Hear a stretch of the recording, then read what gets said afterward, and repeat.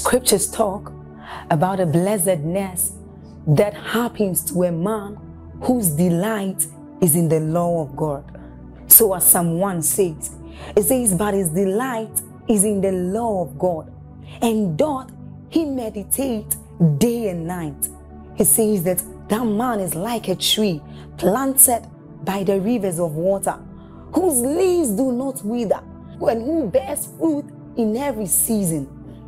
As you're about listening to this message, we believe that your life is going to be like that man planted by the rivers of water. Your leaves are forever going to bear. And we know that your, your season will not pass by. You will forever shine and you will forever bear fruit.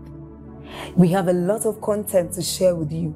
So we would entreat you to subscribe to this channel as well as like us hit that notification bell to receive more updates from us because we know that whatever content here is going to set you on course at every time. It's going to make you attain whatever stature that Christ wants you to attain. Thank you. Hallelujah. There, there is, I have seen two evils that I believe, if not corrected, will destroy a lot of people. Just as an introduction, that's not necessarily where I'm dwelling, but just to connect with it. There, there is a growing fear that I've seen, especially among ladies, not necessarily koinonia ladies. Um, as I talk with ladies, as I talk with women, I I'm a bit concerned at the growing fear as it regards family life, most especially the fear of disappointment, the fear of expectations not coming to pass. Then, on the other side of the pendulum, I have seen a growing sense of frustration among men, especially young men. Are we together now? So there is on one side fear, the fear that many ladies may never enter into their desired destinies. Fears ranging from the the projections of late marriage, fear ranging from not finding a man that represents God God's ideal standard. So there's there's a lot of fear. It's like the average lady is afraid even those who are married are afraid. So it's a very interesting situation. Then, on the other hand, you have men who are frustrated. I have seen brothers, some in Koinonia and some around, that have been able to see. You know, there's something frustrating when you've done your best and it still doesn't work. You know that state. There are people who are standing and say, Look, I don't know what the key is, but I have to find this thing. It's not working. So I see a lot of frustrated people. People call me Apostle, do you know my wife just gave birth? And let me confess, things are bad. Bad. Nigeria is bad. My life is bad. My boss is bad. And I just cried before God and I thought that it was very important to respond to this. There are so many people who are afraid of getting into relationships, afraid of getting married. So much. And so God will help us in the name of Jesus. Ladies, I want to talk to you first. Pay very close attention. I really want to talk to you from the depth of my heart. If anyone is distracting you this night, just know that that person is really an enemy of your destiny. There is a reality we have to come to terms with. Look at me, please. And I'm very serious. I know there will be a lot of laughing, but just laugh and let your spirit be here. Praise God the 21st century living, please pay attention. Living in the 21st century alone is a challenge all by itself. Are you getting what I'm saying now? Just being alive. I know that we have taught and people have said it that we're the most fortunate generation. I believe that. But at the same time, there has been no time in human history, I tell you, where living has come with cycles of challenges like our generation. Just being alive alone is a challenge by default. Are we together now? This is very, very important. And that means there must be an updated redefinition of concepts. Listen to me. Ideas, redefinition of paradigms and strategies as regards living, as regards family life, not necessarily a veering off of God's standard, but a redefinition of our approach. Are you getting what I'm saying now? What you call a man in the 21st century is very different from what was understood by a man in 1960s and 70s. Is that correct? Yeah. So, if we do not adjust to these redefinitions of concepts and ideas to be able to stand the times that are coming, there will be big disasters in Christian homes, although born again, although tongue talking, and many lives. We are going to raise all kinds of children who will be hooligans and a nuisance to society. I have observed personally. Now, and if there are, we, we have a number of children here some very small, some maybe in their teenage. But I have observed with shock most young people from within the ages of, let's say, 19 down to 13, that generation has been violently captured by the devil. That 19 to 13, I don't know what happened to that generation of young people, but there is a disaster. They are, they are outspoken rebellion against the things of God is beginning to reproduce the pattern of the American church. Are we together? Yeah. You study children, most of them are just finishing from secondary school and maybe universities and all of that. Their outspoken rebellion against the life of God, the ways of God, they are really the technological generation. That that teenage. And if there is no redefinition of concepts and ideas, there will be a very serious challenge. The average Christian parent does not even know how the concept of parenting because it has changed. Back in the olden days, the parents were the principal instructors of a child, but right now, the average child has many teachers. Are we together? The school teachers are just one, the parents are even the least. There are many other things. There's Facebook to teach, there's YouTube to teach. Are we together? Gone are the days where you can you can off a television and say sit down and read your book. You off a television, he switches it on on his device. Think about that. The advancement in technology is a double-edged sword. It's made certain destinies and created potentials for the destruction of others. So I, I really would want to talk to us. Um, ladies, let me start with you. There are certain things, sisters, I love you and I'm speaking to you from the depth of my heart. If you listen to me, you will be saved. If you are stubborn and you don't listen, I guarantee you, you would have defined a path that will lead to tears. Are we together now? Say amen. Sisters here doesn't mean people who, maybe ladies who are not yet married, it, just anybody, really.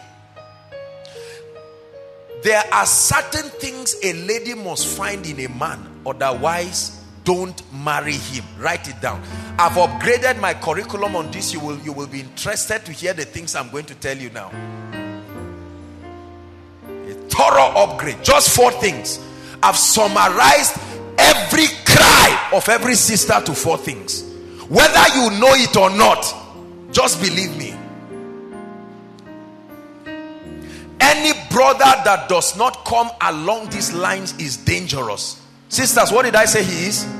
Shout it. I didn't say he's bad. I said he's dangerous. I don't care whether the brother is Joshua Selman. I don't care whether the brother has a Bible on top of his head. If these four things are not in place, your home will be a disaster and your children will be a disaster. Ready? Number one, you have no business talking about relationship and marriage with any man who is not God fearing. Don't be too fast. Allow me to properly define what I mean by God fearing. Notice I didn't say born again because that thing has been abused in the 21st century. A born again brother is not one who came out for altar call and you witnessed him raising his hand. That's not born again. God fearing. The primary reason why society is in decadence, listen to me, is because the men are not God fearing. The fear of the Lord is not believing in God. There are two different things. Faith in God and the fear of God are two different things.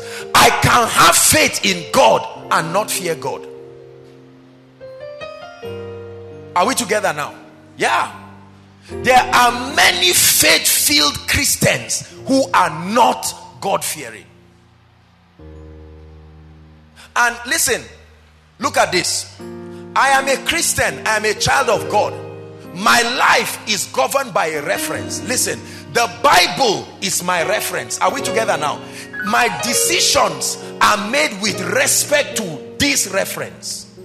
So when you tell me you are a husband, what reference are you leading your life and your family with? So many people come to church, but there is no reference upon which their lives, their ideologies, and their decisions come from. So they just hilariously come up with concepts and ideas about parenting, and they have destroyed the lives of innocent women. There are many women in the last two weeks, the number of married women I've had to counsel, and the pain that the average married woman woman goes through in their home is unbearable. They laugh in the open, but they are dying in the secret. And the sad thing is that most of the men are born again some are even bishops, priests, sincere people, deacons. What does it mean to be God fearing? To be God fearing, number one, means to have reverence, respect for God. Not just to believe in God, but to have reverence for God. Let's hurry up.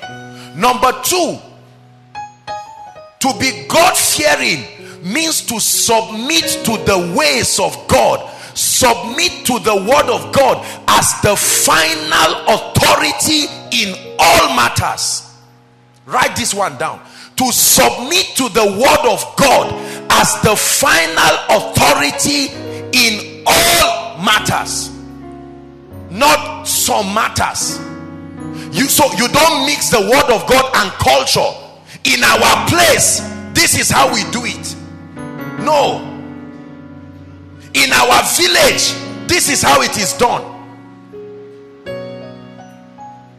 This this diversity of concepts has largely destroyed many good men turn them into beasts and animals because there is no centralized scripture based reference upon which their activities are carried out Listen, let me tell you something. There is no man that is bad. When they tell you a man is bad, when a woman looks at her husband, when a young lady looks at someone she's in a relationship with and says you are bad, there is, the concept of bad does not exist. There is no man who is bad. Every man is like a video playing out his mindset. It is the thinking, the ideology of a man that expresses him as bad. That is why an robber can carry the same body and in two years the armed robber has become a pastor. The body did not change. Something changed. The same hand that once held a gun and was brutal over people now holds a bible and is saving sinners. There is nothing called a bad man. I've interacted with some people who are supposedly bad some of them old enough to be my parents and i've discovered that intrinsically every man is good. Their approach was wrong and so their life became a script playing out. Some of you are looking at me now brothers. As sincere as you are you are about to replay the same script if you don't change. You will be shocked to see how you will find out that what you desire let me tell you there is no bad man who married his wife to destroy her. Are you hearing me? Nobody I'm a man, I've been a man all my life. I'm not just being a man now. So you have to listen to me. I know exactly Men are not bad people, but there are concepts that have turned men into beasts. Are we together? God fearing person. The word of God. I always give this analogy when I'm counseling people. Listen, if wife, come. Watch this, this is my wife, and I want the television to be here. Everybody look up. This is a television now. I want the TV to be here. And my wife says, My husband, this TV has to be there. There is a conflict of ideas. Now, to be God fearing means both of us must have the unashamedness, or at least I, to say, What does the word of God say about TV? Is the word of God says there should be no TV? What happens to my will? I fold my will to let the will of God prevail. There is no family that will suffer when the man can accept the will of God. The problem is usually the will of the man. And I look at her and say, What part of your dowry didn't I pay? You talk to me, I will slap you. Forget that I'm a man of God. I'm a man, it's just that I'm of God. You talk to me, I will slap you. Are we together? And you know, men, we are very arrogant people. We can be entering hellfire and claim that it's AC. Well, and drag people in trouble until we get in there. And then we say, Well, I, I did not exactly understand. The configuration of a man is such that we have a lot to protect. That's why submitting to the ways of God is very hard. That's why in most crusades, women are more. The men don't come. They would rather watch from the television and kneel down and receive the same miracle. But to come and be healed, they feel is an insult. I am a director of A and B and C. But tonight I pray that God will raise men who can submit. I love the song the worship team sang. Look, there is nothing as excellent as a man, especially a young man who has submitted to the will of God in every matter. It doesn't matter how it stings my ego. Once the word of God contradicts my concept, I bend. I don't look for an explanation. No, sir. It is being God fearing that will make you never to carry your hand and beat your wife. You are angry, but what did the Bible say about wives? It said, treat them as unto weaker vessels. So when you slap your wife and you are boiling, you are not just a stupid man, you are not submitting to the ways of God. When you love your wife just because she made a nice hair and say, hey, hey, now you are talking, you are you are carnal. Number one, that is not even true love because the Bible says husbands love their wives as Christ loved the church. So the thing is to study how Christ loved the church. He said, while we were yet sinners, undeserving, unqualified, in due season, Christ loved us. So when a man has to punish his wife to end his love by dressing well, I'm not against good dressing. I'm not against looking well. I'm not against all of these things. But if you force your your wife to have to succumb to those things, the day she sees another woman who has those things much more than her, she becomes insecure because she knows how unpredictable your love is. The fear of the Lord. Many men do not fear God. Principles of parenting. Do you know that there are families and there are cultures, for instance, that teach that a man can beat his wife at least once or twice so that when he beats her, she will know that this is not a stupid, is not a sissy. I mean, it's, it's a show of masculinity. I senior you in age, in strength, in whatever it is in salary and you joke with me i beat you once then i ask you for forgiveness. I'm forgiving you you are forgiving me but the memory of what happened will keep you in place.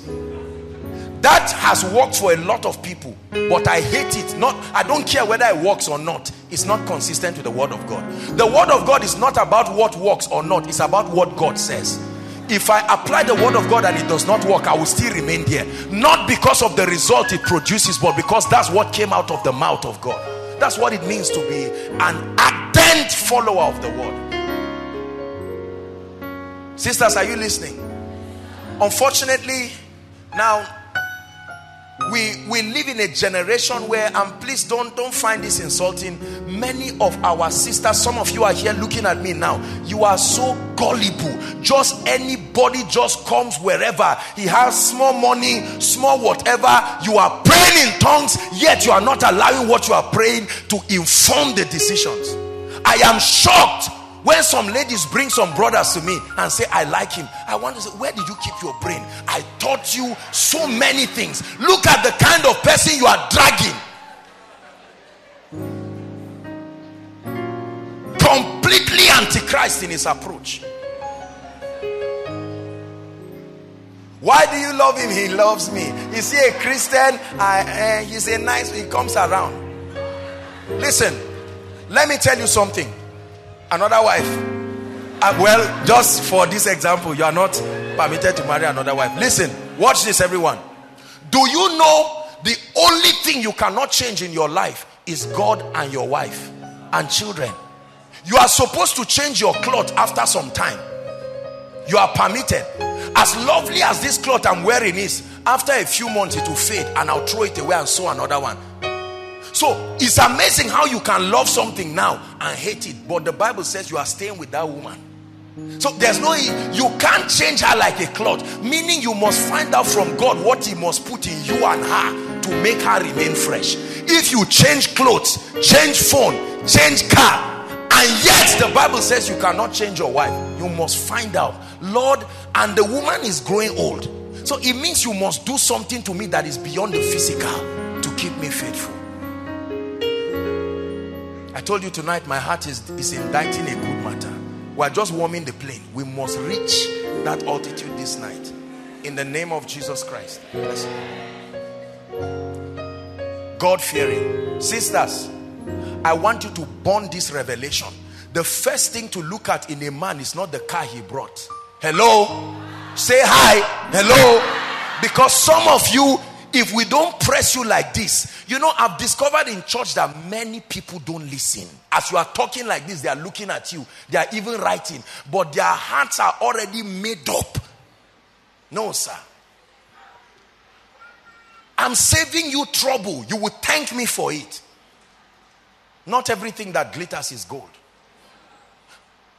And don't let anyone pressure you, whether parents or friend, and say, after all, what is there? He can take care of us. What is your idea of care? Buy you things? Are we together? A God fearing man. A man, he doesn't have to be a pastor. Uh uh-uh. uh God fearing has nothing to do with a pastor.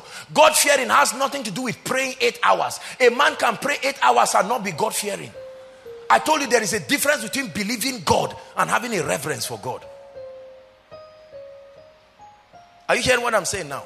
Hmm. The fear of God, submitting to the authority of the word, submitting to the authority of the word. So you may be Igbo, you may be Hausa, you may be Yoruba, you may be Kaduna State, whatever, Northern, you may be from another nation of the world. It does not matter. The issue of this is how we do it in our place. This is how it is in our place. Our fathers used to, our this used to happen. No, no, no. People do those kinds of nonsense things. Do you know how this refusal to conform to the word of God has brought trouble between people? It's the reason why many marriages are not working. Parenting. So the man has his idea on how to raise children. He got it from his friends, he got it from bad people. Are we together now? Do you know the average young child was not really trained by his parents? He just lived with them. It's one thing to live with me, but it's another thing to be mentored and trained by me. That you are going around in my house does not mean I'm training you. The Bible said, train up a child. It didn't say live with him. Many people are living with their children, but they are not training their children. So their children get the training from their friends, bad books, bad magazines, rubbish films, nonsense photos and pictures. And by the time that child is 10 or 11 years, somebody else is training him. How does a train move? They are connected. The train will not move against where the head of the train is moving. So, train a child means set the pace. Don't tell them to do it, lead them in doing it. You don't ask a child to buy you cigarette and then as he drops, he say, if I catch you with cigarette, I will kill you by myself. I've told you. Smoking is very bad. Forget that I'm doing it. You are not training the child. Is God speaking to us? What I'm saying is a very serious thing. God fearing. Number two, ladies, the second thing that you must, in this order, in this order, it has to be in this order. The second thing is that that man must submit to an earthly authority. I'm giving you redefined 21st century world compliant. He must be able to submit to an earthly authority for mentorship, for building, for correction. There are many families in trouble today because there is no authority figure over the life of the husband. There's no man that can call him and say, No, no, what you are doing is wrong. He can beat the wife and almost kill her. He's the God of himself. Never marry a man who does not have a pastor, a mentor, a spiritual authority, an elderly person. There must be a personality that he has covenanted to listen to the person. Say amen. Very powerful revelation I give you. There are many ladies who say, ah, ah you're in a relationship. I think you should see apostle. Say, I see apostle for what? What, what should I see him for? That's how after he slaps you and you say, let's go and see apostle. You say, for what? Listen, no matter how wrong a man and a woman is, if there is someone for them to listen, you are still safe. You are still safe. I've had the privilege of talking with a lot of couples. I remember one couple, they fought in Kaduna. It was a brutal fight. Police had to come. Police for husband and wife. And, to, and, and they are Christians. The woman just took, she could not take it that day and she decided that, look, I will try my best. Whatever I would, I will have to attempt this man today. True story. And two of them, after the dust settled, the police people told them, look, you are married people, don't make a fool out of yourself. Go and uh, you can, you know, know how to fix things up. Two of them agreed that they were going to report themselves to me. So they reported themselves and then they came for counseling. Do you know at the end of that counseling, simply because they were people who understood submission, at the end of it, the man was hugging his wife as if he never slapped her. Nice people. And as far as I know, things are working. It was a very minor issue and all of that. Sisters, Please hear me in the name of Jesus. The 21st century has changed things. Some of us, this is the dilemma that our fathers came in. They had been beating our mothers for many years. There are some of us, if there was an authority figure, the divorce would not have happened. There was no one. The man decides he's the God of the family. The day he decides to descend upon the family with wrath, everybody is in trouble. Sisters, the man must be able to show you clearly what authority figure is in his life. Do you know why? Let me tell you this. Emeka, come. Sweetheart, come. Assuming, stand here. Assuming this lady, Emeka comes to ask this lady out and says he wants to marry her. Do you know if she tells him and says, okay, whatever it is, this is an authority figure in my life and I would like you to see him. Do you know why the man will run away? Because he doesn't plan to be faithful and he doesn't want anything that will tie him too much. He wants an opportunity to still be doing runs at the side. Hello? Are we together? So he's hoping that by alienating himself, there are many brothers who claim to love you people. They come and drop you for koinonia and go away. And after the grace, they now come and pick you. That's dangerous. Naomi told Ruth, he said, um, um, Ruth told Naomi, he says, My God will be your God, your people will be my people. Are we together? Because if I know this guy with this lady, tomorrow if I see her smiling at somebody, I have the right to ask a question and say, Ah, I hope that guy is your brother. that smile is too generous for just an ordinary this thing. So, what is the issue? And if there is an issue, I will at least try to find out. It's all right if the issues are irreconcilable, but at least that there is some level, there is disorder in the body of Christ because everybody is doing anything. That's why you can find one brother with 20 girlfriends scattered all around and they never know themselves. Yet the brother can be leading worship. Yet the brother can be a pastor in charge of A and B and C. He will tell this one, I'm mad. Just be waiting. You will just let me just put things in place. While he's doing that, he's already printing um, traditional wedding card. How many ladies have been heartbroken? A brother that has told them, he has even met their parents. While they are happy, the next thing they just see a wedding card. This is to notify you that the family of A and B is marrying C and D in, in different places. Very careless, and we make the church look stupid. Let me tell you, there's order in the body of Christ. Many people who hear what I'm saying and think, no, disorderliness will always empower Satan. Disorderliness of any sort will always empower Satan. The Bible says, let all things be done decently and in order. Bless you. Bless you. Number three, very quickly. Are you getting blessed? So, sisters, the first thing you should look at in a man, and if you are married and your husband doesn't have this, begin to labor in the place of prayer. Labor generously in the place of prayer. Lord, turn the heart of this man. He must be God fearing.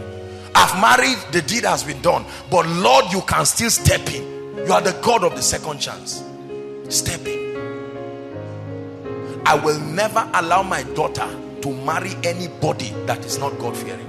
Bring a jeep, bring a plane, carry hamper for me. That, that all that one is your cup of tea if you are not god fearing the first question i'll ask you is not what you studied or where you have a job. Are you right with god? And you know that you will not just tell me yes. I said that's all right. Let's go to the next question. No no no no no. We'll stay there and press it. Right with god means what? Yeah. Right with god means what? You don't just say i'm right with god. Are, are you a member of what? I'm a member of living faith. Okay that's all right. No no I can, in five minutes, through your words, I can know you are just a church goer. You don't fear God.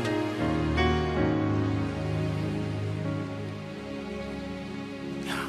Let's restore the fear of God so that our children will be raised. You send children to school. You have finished training your children in the fear of God. They now go and meet a very indisciplined child who came from a family that does not fear God and start making your child who fears God feel like an inferior person. Is that not what happened to some of us growing? You left good Christian families. The day they were talking about pornographic movies, you've never known anything like that. And you say, I don't know anything. They say, Are you joking? You are 14 years. You've never watched this. And they make you feel guilty for loving God. And it's that guilt that drives you to say, No, I have to educate my mind. And look at what has happened to your life now. You are God alone from before time began. You are on your throne. You are God alone. And right now, through the good times and bad, you are on your throne. You are God alone. Be determined to correct the mistakes of your parents with your life. You have insulted your father, you have insulted your mother. It's now your chance. Oh, apostle, I want to marry this year. Congratulations, but you listen carefully. Do you know some people, if not for this teaching, you are about to make a blunder this Valentine because they always come around this time. Wolves in sheep's clothing. They stroll around and they come and look for good church ladies, well cultured Christian girls who they can play with their mind because of the innocence of the word. There are many ladies, if it's not a church girl, her eye has opened. When the guy does nonsense, she will jack him and say, We'll die here. I'm not a stupid person. I will show you that although I'm a lady, but a nice, well cultured church girl has been trained to respect men, has been trained to behave well. Many bad boys like church girls because they avoid trouble. The, the, the pastor has done the work, so I can easily manipulate them into nonsense. And the guy will use the scripture and say, Don't shout at me. Remember what Apostle said. He says, it's true. Apostle said we should be nice. They always look for these periods and come and destroy the life of ladies. It pains me when I see very nice ladies and their entire life has been crushed and crumbled by very bad boys because they are sincere, they are innocent. And you know why? We pastors don't teach it because we think it's not necessary. So we allow people to make all their mistakes and destroy their lives and destinies. I get text messages literally every day. One trouble after another in a family.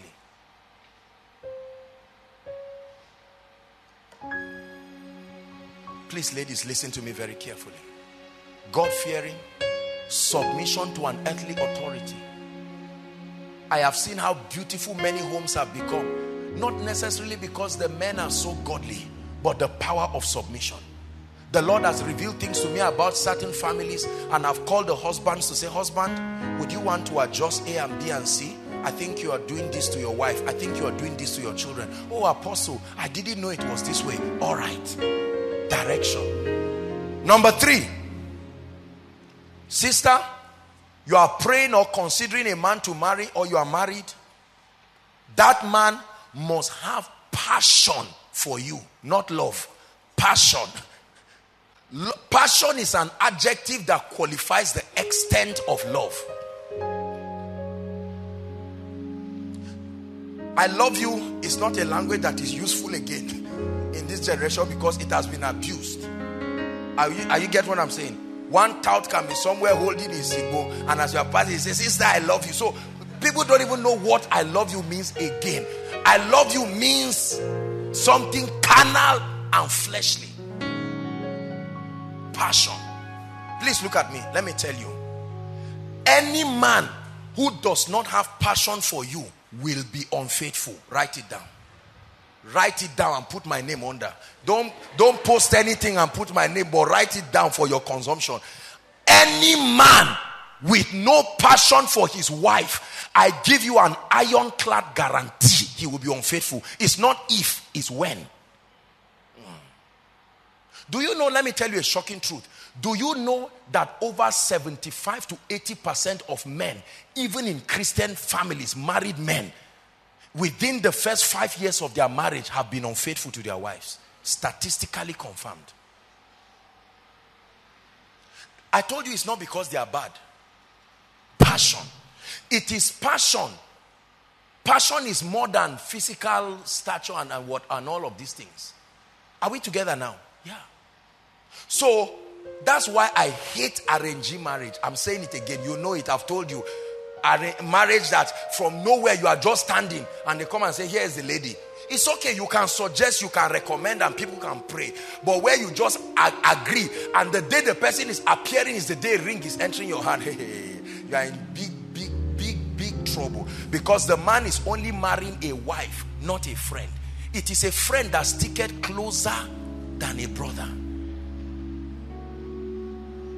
Any marriage where there is no passion, there must be unfaithfulness. It's not there will be, there must be unfaithfulness. A man cannot struggle indefinitely contemplating his love for his wife. He will find an alternative. And what a generation with many alternatives. His secretary is there. If she's not there, the other one is there if she's not around, another devil is there somewhere in the hotel. If she's not there, a, a receptionist of another place is somewhere. At every given point, there is somebody waiting to destroy your husband. There are certain women, there are spirits that walk in them, only married men. If they see a young man, no matter what you have, it's not their business. But once they see you, you are married. Ah, what a joy. If you complain about your wife, say, ah, what kind of a woman will oppress such a nice man as this? That's right. It's starting is starting. That's exactly what the man wants to hear. I'm very serious with what I'm sharing tonight. Passion. When two people come, you know, to introduce themselves, they just come. You see, sometimes they hold hands. It's as if, hey, let's marry you. I tell oh God, just calm down because these motions are not passion. Passion is not the, the physical exertion. You are all around the lady. That's not passion. Sometimes it's just jealousy and your personality. It's not passion. Passion is the depth of resolve, is a resolve within you. That through that lady you have gotten satisfaction and fulfillment. No need for another. The Bible puts it excellently. Many daughters have done well, but thou excellest them. A man who cannot say that to his wife is already a dangerous man. It is true I know that you may not be the most beautiful lady. Let's tell the truth. I've seen this lady. I know she's beautiful, but you are my wife. You occupy a place that you alone can stay. May God raise men who can speak like that. Not that a beautiful lady passes and even the wife is now afraid because she knows who she married. She just says, Honey, must we stand outside? Let's go inside. She, she has already known. The man said, No, no, no, I have to take fresh air. What is all this? Vulnerability. See, let me tell you something. Let me tell you a big secret. There are four sets of people. If you are marrying, you have to listen to this thing two times. One, if you are marrying a man of God, we're exposed to people every day. People means options. Are you hearing what I'm saying? Number two, a high profile businessman. Number three, a politician.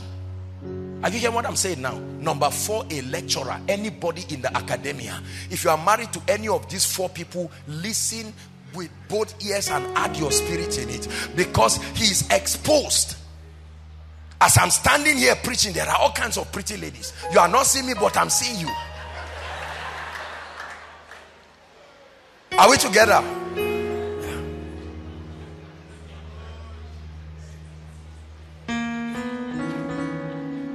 Say amen. So, when you are not careful, you will be surprised that your husband has four children. You never knew. One day, somebody just knocks your house and say, I must look for my father. Say, what is going on here? Spiritual father, and you see a carbon copy of your child. Look, look, look. Don't think I'm just talking. There are many children scattered around.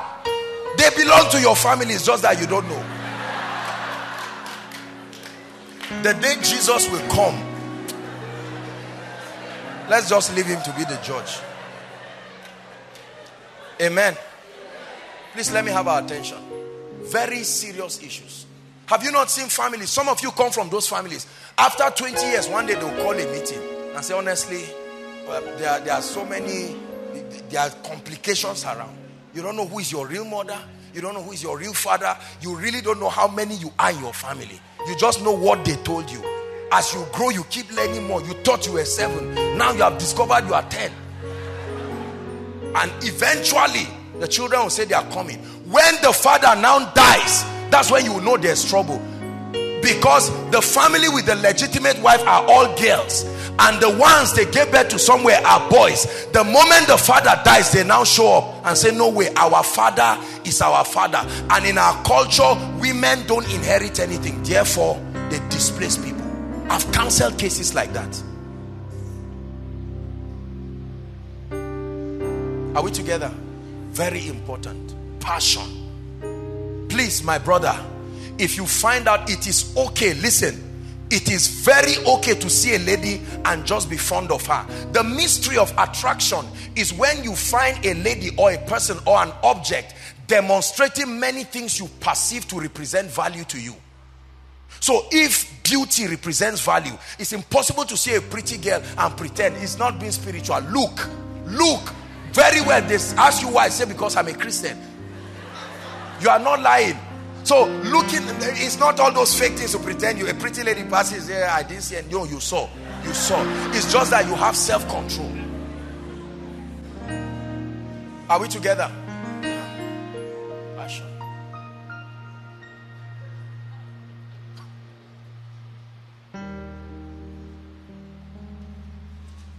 Must have passion. You must have passion. Many people don't have passion the lifespan of their passion is a few weeks after marriage. The lifespan of their passion is when they say, I do. Some, the lifespan of their passion is when she gives them three children and four children. That was his goal to have children. They've been pressuring you. Promise, you are getting old. No marriage. Marry.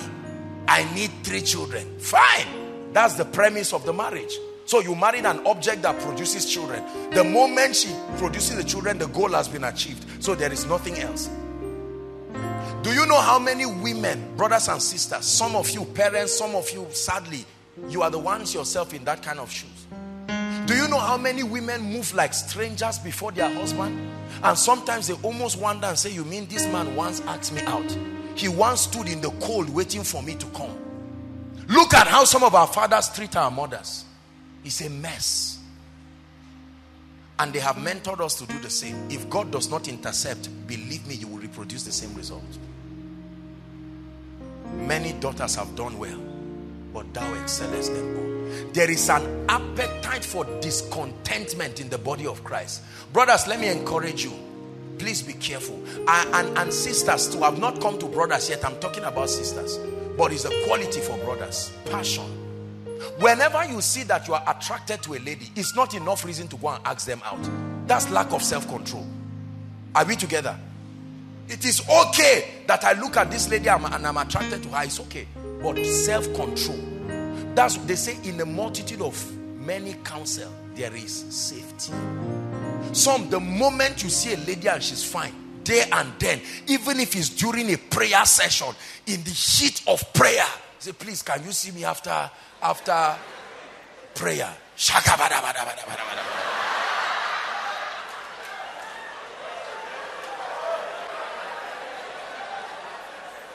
Discipline. Hallelujah. The next moment, that's your first time. You are even new in the prayer. They have not even confirmed you. You are not a member of the prayer department. You are just arriving that day. You say, Sister, honestly, where, where do your parents stay? Let me tell you what you have just revealed about yourself. You are a very indisciplined brother. Because you come into a place with structure and authority, and you just come in and do anything you want to do.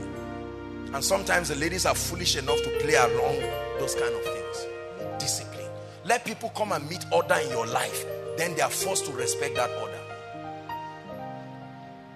Are we together now? Jesus is helping us today. Somebody, somebody is really getting blessed from what I'm saying. It's very important. Are we together now? Passion. If you are married here, you must pray consistently, brothers, fathers, to keep having passion for your wife, not just your children. Because gone are the days when ladies will respect a man just when he's married. And you can see and say, ah, Jimmy is married, let's leave him. No. No. You can see somebody as old as my father and still come and meet me. Daddy, how are you? That daddy is, is, is just means I'm available. Gone are the days. You can see a man at my father's age, see a small girl, and say, ah, my daughter, how are you? You, you would think he's fatherly, my daughter. But he's, he's, he's not fatherly, my daughter at all. It's another dimension on its own. So that you are married. You know, sometimes many men deceive themselves. They just think the moment you are married, it just means people will leave you alone just because you are married. No. Our society, it should be like that. But our society has become so depraved that a ring is just a jewelry. A ring is just a jewelry for entertainment. Are you hearing what I'm saying now? It's something that symbolizes a covenant relationship. It's, it's entertainment. So when you wear a ring and say they see a ring, they'll mind themselves. It's a joke. It's a big joke. Wear two. It won't change anything. Thank you, my dear. Love and passion. Love and passion. And then the last key, ladies, I will dwell a bit here today. Never marry a man who is irresponsible. That's the last point. There must be a demonstration of responsibility. Responsibility. Responsibility. Many brothers are irresponsible. Christian brothers inclusive. Irresponsible. Tongue talking Christian brothers What does it mean to be responsible? To be responsible means it means to be aware of the cost dimension of life. Taking cognizance of the cost dimension of life. I don't mean money. That anything to be done must be done by someone. The Bible says every house is built by some man, but God is the builder of all. An irresponsible person says, uh-uh, they have not done it. A responsible person says, Can we do it? Are you seeing that now? Let me tell you something. Please look up. There is a tragedy that has happened in Nigeria, especially to Nigerian young men. Please listen.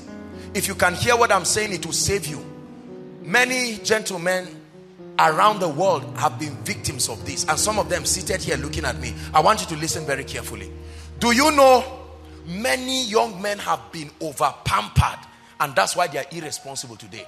Over pampering does not mean they came from a rich family. A poor family can still over pamper a man. Let me tell you how they over pampered them. A young man is 18 years. The moment he's washing his clothes, you say, ah, is there not house help? Wash for him. Because we have washing machine in our house. A young man who is supposed to start learning to be responsible. Are we together now? He goes out, and by four o'clock, you are ringing his phone. Return home. Return home. It looks like you are trying to be disciplinary. There is an age range where he needs to be home. But there is an age range where that guy is submissive. Maybe he's in church as a choir director and you are now calling a matured boy of 19 years old. It's 5 o'clock. Where are you? Come home. So the guy is now 25 and he stays home. He married with his wife and stays home just like mommy said. Obedient child. Nobody goes out to get food again because he has been trained. Come home. In America, from 12 years, 12 years old in America, you see children looking for something to do. Post office. Ah, there, there's no chair for us. They always expect to be recipients, not contributors. It's not your fault. That's why I'm helping you tonight. Many brothers are like that. They are born again. They love God, but anything that discomforts them a little, uh-uh, they don't want it. It's irresponsibility that produces laziness. Laziness. Get up and do something. You have a meeting for five o'clock. It's raining heavily. I say, Kai, oh, quarter to five, please. Uh, Benga, I can't make it for the meeting. Kai, I'm tired. This rain, the cold is too much. That's a lazy man who will not feed his family. You see that? He will not feed his family because he will say there's crisis in Nigeria. They can kill people if they go outside and he will leave his family members to die. The Bible says a lazy man will not sow because of the cold and he will also not reap. I am a fanatic of responsibility. Responsibility. You cannot be around me and not be a responsible person. Waiting for things to be done for you. No, sir. You must learn to be an initiator, not just a recipient. There are many men today, the salary comes from their wives. Correct? It's okay if there is a situation that happened in, in the course of the marriage and the woman has to be supporting you see somebody from 1996, no job, is the wife that works, pays the children's school fees, and the man is alive. Two hands, two legs. He gets up in the morning, sits at the veranda of the house. They are playing draft together with other colleagues, irresponsible men who come. They form a team and they just play. Where's your wife? Uh, you know, she's a nurse. She works in the hospital. You know, women, she will come in the evening. The woman will return. There is no food. She will come and be cooking. And the, the male figure in that family is learning. He doesn't like it, but his ideology is being shaped after the example he's seeing. There are too many irresponsible people. There are irresponsible pastors who expect members to be the one to raise money for church. Have you seen people like that? There are irresponsible pastors who expect members to be the ones to give them money. Am I not your pastor? Buy a car for me, build a house for me, marry for me. That's an irresponsible man of God. He's a man of God, but an irresponsible one.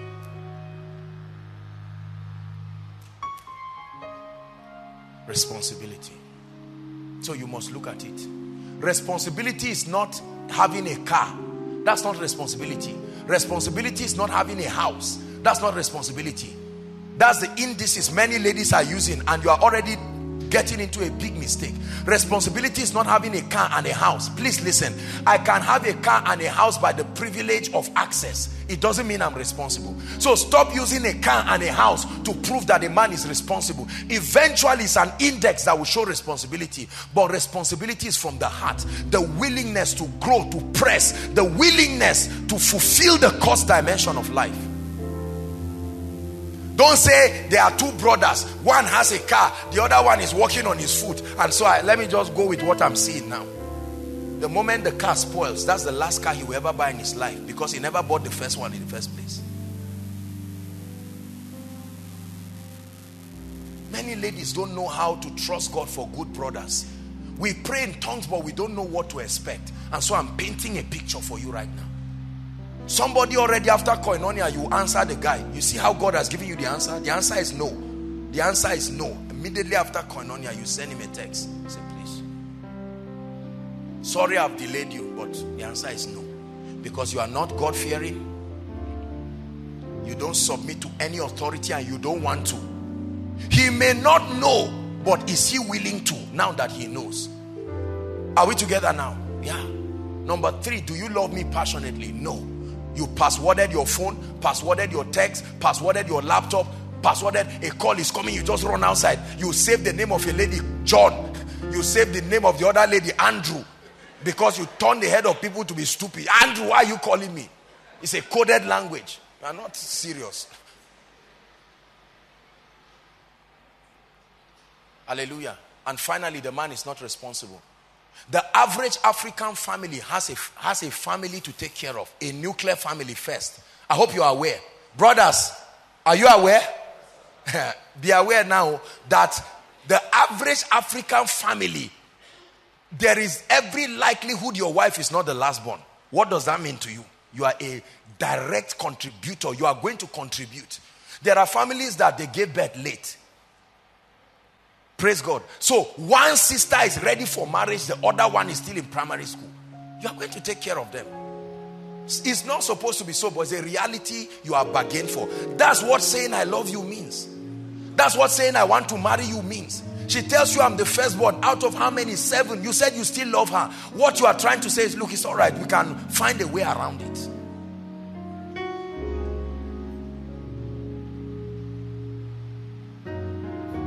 Brothers, let me say your own quickly.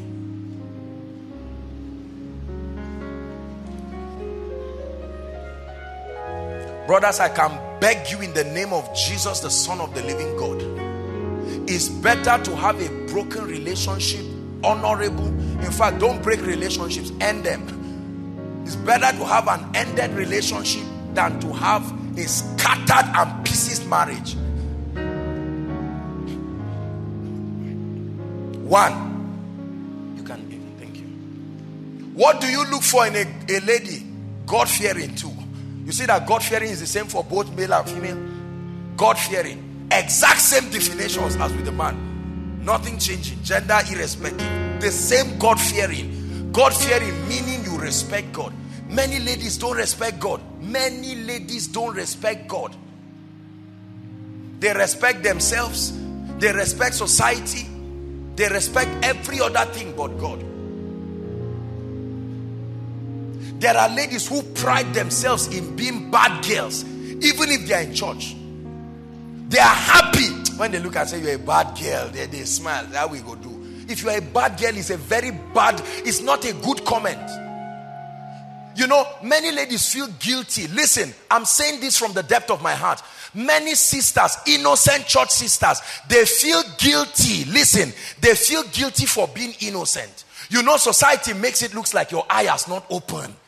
You've not been sleeping around. You've never drank in your life. Uh-uh. You don't have a boyfriend. You are 20 years. Uh-uh. You mean this is this? This is how your life is? And they make ladies feel guilty for being innocent.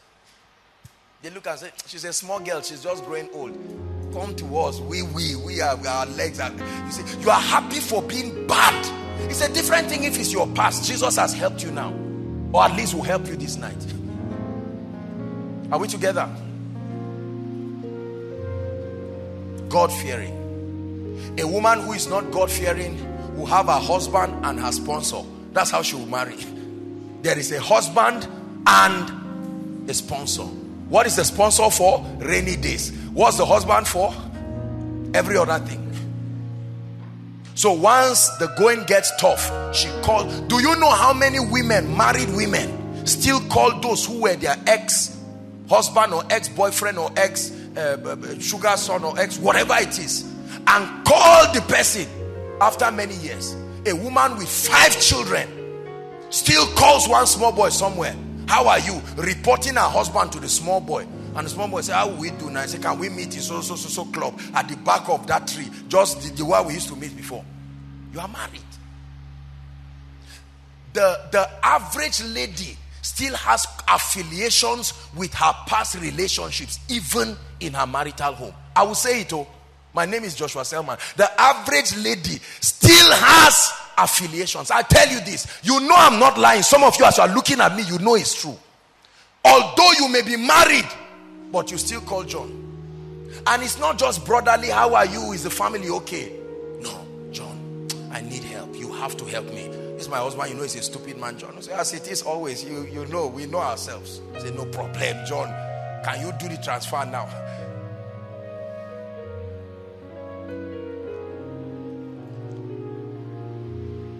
Praise God. That's why they are not faithful.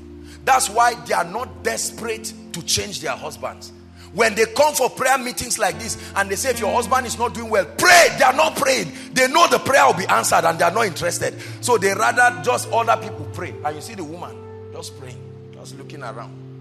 Because whatever happens, there is a, well, you don't say concubine for a man, do you? Somebody somewhere, an affiliate, who they are waiting for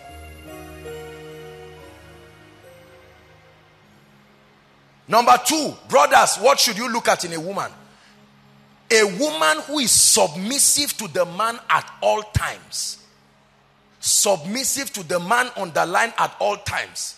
I don't have a problem with submission, but when? At all times, convenient or not. Submission has never been a choice. Write it down. That's your own part. Oh, apostle, you don't know how foolish my husband is. Don't worry, I'm coming. I've not finished. For now, just know your own role. Submit.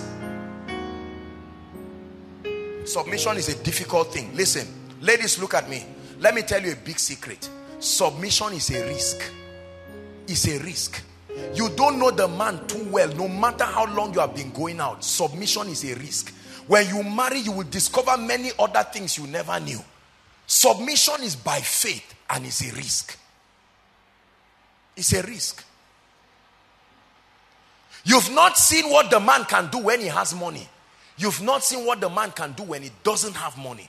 You've not seen what the man can do when his job is under pressure. You've not seen what he's done if he's promoted to become a CEO. Yet the Bible says submit. Submission is a risk. You need the Holy Spirit to do it. That's why you have your own part to make sure that the authority you submit to has been vetted thoroughly by God. Hallelujah. You must submit to the man at all times. When ladies refuse to submit to their husbands and they say he's not man enough, that's not what the Bible teaches. The Bible did not say submit to man enough men. Apostle is not he's not providing anything. I'm the one bringing the money. I'm the one paying the school fees. I'm not stupid. I know be word compliant. You are, can only judge disobedience when your obedience is complete. There are many ladies who want the men. Listen, and sisters, please hear me. Most of us, this mindset came from our mothers and our, our parents generally. We must correct it. The idea that a man must prove he is capable, then I will now submit to him. Hey, you are a hypocrite. You are doing this exactly what his secretary is doing in the office. Who will not submit to a man who gives you food? If I buy you a plate of food, won't you greet me like this the next time? That's what you want your husband to do. There is a difference between your husband and other people. I know you don't like what I'm saying, but it's the Bible.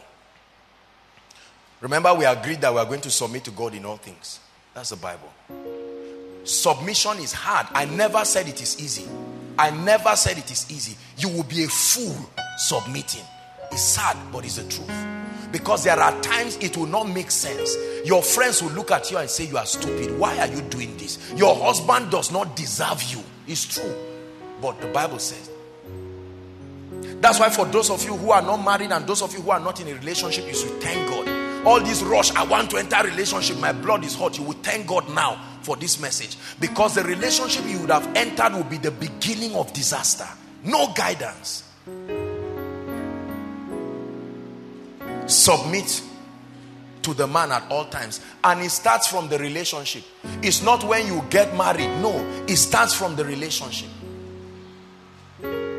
I know submission is not foolishness but the bible instructs it you see why mentorship is good. You see why i spoke about a spiritual authority. Because if you are playing your role well and the man is not doing his thing you have a right. That third party that has been authorized can come in and say no no no no no. Wife is doing her part well. And because the man submits to authority he will listen. If his deliverance they will cast the demon out. If his counseling they will manage his pressures at the moment but where you are submitting to a man who does not submit to god does not submit to authority you are in trouble. Big trouble. What is number three? Let's hurry up. What kind of woman should you marry brother? A woman who is sacrificial and hospitable. Third point. Sacrificial and hospitable. In the 21st century, you marry a woman who cannot sacrifice, you have married disaster. There are many ladies who like, who cannot inconvenience themselves for the growth of their homes. No. Hallelujah. The moment the man loses his job, the wife changes. She can't love him again. There are many people I counsel, and it's, it's sad the way their wives treat them when things are not going well. Oh, he just bought a house. He just got promotion. My husband, my husband. They just blackmailed him. Oh. They said, ah, this and that happened. And they demoted him. She won't refuse, but you see the body language. Honey, why now? You know I don't like plantain. Please don't disturb me. In this house, when you bring money, we cook well. Subliminal statements. You have started communicating. It's a terrible thing. Please hear what I'm saying. The Lord is speaking very seriously. Never submit to a man because he has money or because he does not have money. The Bible never does that. The Bible never instructs that. So choose whether you want to marry or not. Thank God marriage is not compulsory. But if you want to do it God's way, you must submit. There is no excuse for rebellion. It's a terrible thing when women gather together with their friends. Now, I know, I know, look, I understand that there are times that women sit down and talk to comfort themselves, but there are women who are perpetually in a habit, in a habit of sitting with groups. They travel to this state, there is a group, and they sit down and lambast their husbands. They talk all kinds of nonsense, reveal family secrets, bedroom secrets are, that are not for the consumption of the public. And when they finish, they come back and they expect all those women everywhere to respect the men. They will not. Your man, your man had a challenge and maybe he had an affair with a lady. He has apologized. A man of God came in, they managed the situation. It's only you and the pastor who has managed the situation. You now carried your mouth. You have run it from east to west, from UK to London. Everybody knows your husband once had a challenge. And one day they look at him, and the day he annoys the person who knows that secret, the person will go and publish something. In 1971, you see them do it in America. When God is about to bless somebody, somebody will just come crying on TV and say, Look, I remember what you did to me. These are that. Because we don't keep quiet. The Bible says, even a fool, when he's silent, is regarded wise. The Bible tells every woman to cover her head Eh, there is a dimension of physical covering but there is a dimension of spiritual covering. Cover your head. The head over your life. Protect him. Protect him. He's vulnerable. Protect him.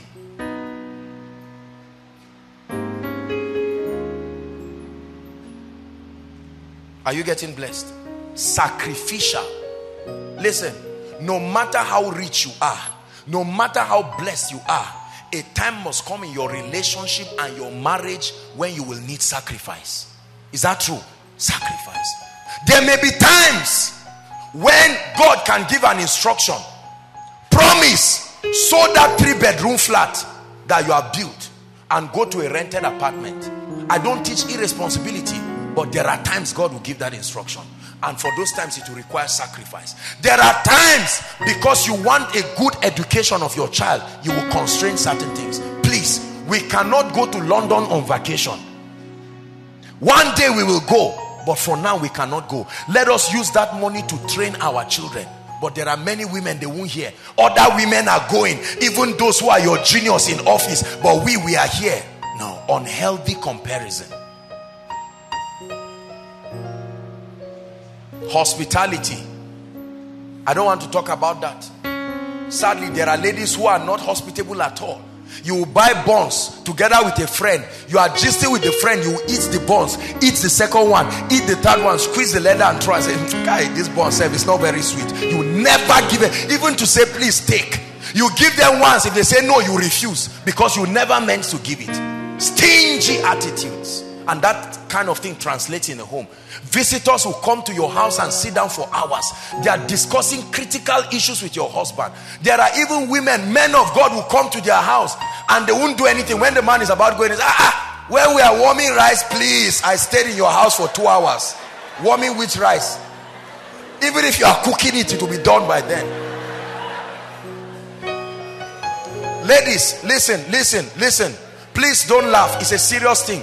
It starts from your attitude in the hostel. Your pot is your own. Your corner is your own. Your everything is your own. Your shoe is your own. Your water is your own. Your Bible is your own. Your bed sheet is your own. That's how everything will be your own. Even when you get married, you will demarcate it. Husband, this section of the house is for me. This one is for you. This one is for the children. There are many people who cannot give. They like taking, but they cannot give. Me, ever buy anything for a guy over my dead body, he will keep buying for me. Oh. Because to buy 200 naira recharge card, he said, What will I do? He's already rich. That's he's the one that asked me out. I didn't ask him. All that those stupid Nigerian film type wise sayings that many people imbibe and keep using to destroy their lives. No, sir. Sacrifice. Say sacrifice. You must learn to sacrifice. Many ladies feel ashamed being sacrificial. They feel cheap being sacrificial. We have been indoctrinated by a society that makes women feel cheap when they have to sacrifice. So they come to a guy and honestly speaking, all this guy has is a small room and all of this, but God is helping him. And no, no, no, no, no. That attitude of sacrifice is not there. I want tomorrow now. Now, I want tomorrow now. They said we should do this, this, and that. I need 90,000 from you. And the brother says, Look, honestly, I don't have anything now. You know it. I mean, you can take my ATM. You won't hate him, but your body language. There are many relationships I've counseled. The moment the guy does not have money, he's in trouble. You will see the language of the lady. One month before, he gave her 10,000 as if it's your father. You called your physical father, he said he won't give you anything. You now call somebody you are going out with and you want to swallow him. Only 2,000. Okay, I'm grateful. You will say you are grateful, but your body language for that remaining one month Kai, is being shameless. It's not good training. Hallelujah. You come into the life of a man, you did not contribute anything. Yet, just because he loves you, you want to sit down at the throne of his heart and control his ATM and control his destiny. The only person permitted to occupy that position is Jesus. Are we together? Yeah. There are many brothers suffering under the hands of ladies and women and wives in many respects who cannot be patient. You don't eat tomorrow today. Are you getting blessed? Brothers, the last thing is now the physical factor. Are you seeing that is now I even brought the physical factor? It must be in that order. That's when you can look at every other thing you want to look at. She beautiful, is she all of these things? Listen, as I have known God more, truly let me tell you this, as I have known God more, and as I've received mentorship from men and women and elderly people who have walked in this life, I've found out that all these physical things they are important, but sincerely, let me tell you the truth from the depth of my heart, they will fade like a leaf. They will fade and vanish like a leaf. I have counseled very beautiful women whose husbands pounded their faces like whatever and drove them out without praying about it. If the entire reason why you are attracted to a woman is physical, you are in trouble. You are in trouble. I was in Jos when I went to see my parents at, at the beginning of this year. I happened to go and visit um, one man. He used to be my principal, and that was the advice he gave me before he knelt down and, and, and, and I'll pray for him. Brothers and sisters, let me tell you one truth. Be careful. I'm not saying physical things are not important, but when your concentration on physical beauty or attraction or looks or physique or shape or whatever it is supersedes the fear of God. Are we together now? Supersedes, what's the second one? Submission to the man supersedes whatever. You've heard me say it again. You just come and meet a lady. There are serious issues. Maybe in a family of 10 and all of them are non-Christians. You know what I mean? And she's the only Christian. She's saying, sorry, oh, this is the family you are going to. You didn't settle down to pray. You say, no problem. You are too fine for me to let you go. You are in trouble. My mother is a witch. It's okay. I love you like that. I, me, I'm telling you, she's a traditional. I know. Don't, don't worry. There's koinonia. And there's miracle service. and people get a lot of casualties. Sorry, man of um, my brother, I need to tell you something. I was born with some kind of deficiency. Honestly, I'm physically not able to take in. I can't have a child. That's a little what is children. Most important is love for you. You now drive yourself and get married. After two years, you want to kill her. As if she didn't tell you. you see it. Please spiritualize spiritualize your process of getting a wife. Don't be carnal. Don't sit with brothers and say, "Have you looked at this one? What do you? What can you say?" It depends on who you are talking to. If you are talking, if you are talking to a brother who is not born again, you are in trouble. He will give you the counsel of Ahithophel, and after two years, you will be surprised to see that beauty can fade. Say Amen. God fearing, submissive at all times, sacrificial hospitable. Let me talk about responsibility for a while and then maybe for a few minutes and then we'll pray. Write it down. First Timothy chapter 5 verse 8. Please give us First Timothy 5 verse 8 quickly. Brothers, I want to talk to you now. I want to talk to everybody, but specifically to the men. Responsible men in our society. First Timothy chapter 5 verse 8. Is that possible? If that's not possible, I would look for it. Go ahead and read it. It's projected inside, outside. One to read. Uh huh. Hold on. This is a big revelation. Stop there. The Bible says, provide for his own. His own talks of relative and everybody connected. Then he says, but especially, meaning first and foremost, what's your first responsibility? The Bible never said, love your neighbor as yourself. There are people who sit down and their wives are suffering and they are donating cars and buses to churches, whereas they cannot pay their children's school fees. It's an irresponsible life. The Bible says, especially to those of his own house. He said he had denied what? The faith. And is worse than an infidel. Write this down. What is responsibility? Responsibility is a burden of obligation over someone or something. Responsibility is a burden of obligation over someone or something. Number two, quickly. Responsibility is an awareness of consequences. An awareness of consequences. That if you do this there is a consequence. If you do not do this there is a consequence. Responsibility is an awareness of consequence. I identified a few reasons here where people are why people are generally not responsible let me talk about them for a few minutes number one the reason why many people are not responsible and why they may never succeed is their indecision over their success and establishment. The reason why many brothers, many sisters, but brothers especially, may never get established is indecision. There is a difference between a wish and a decision. I want to eat rice, that's a wish. I want to eat rice, but I will get up and go to the restaurant and buy it, or I will go to the market to cook it. That's a decision backed up by the willingness to pay the price to actualize it. There are many brothers wishing, wishing through prayer, wishing through reading books, wishing through receiving prophecy, wishing through dropping their prayer points in miracle service. No, wishing does not pro provide an answer. Indecision over being successful. Look at me.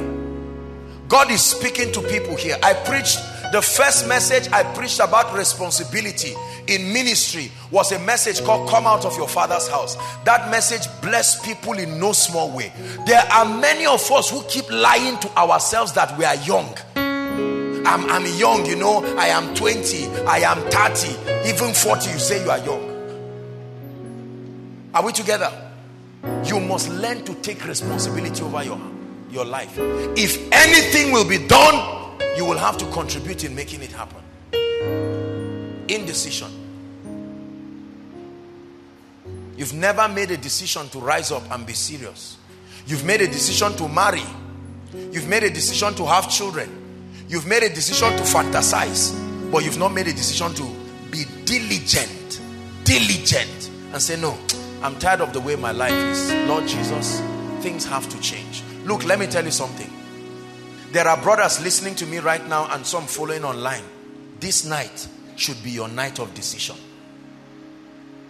Many years ago, I got I made up my mind that I was going to be a very responsible person. I it was a vow that I took with God. Are we together? Exactly 14 years ago. In fact, 15 years ago. Exactly 15 years ago.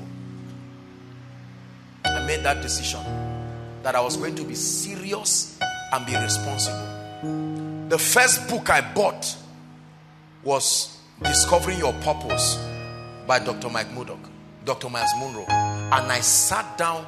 When I read that book, I cried. I remember writing it. I still have the book till today. It was a vow that I wrote. I will be a responsible man of God. I will be a, a responsible father. I will be a responsible husband. I'll be a responsible leader.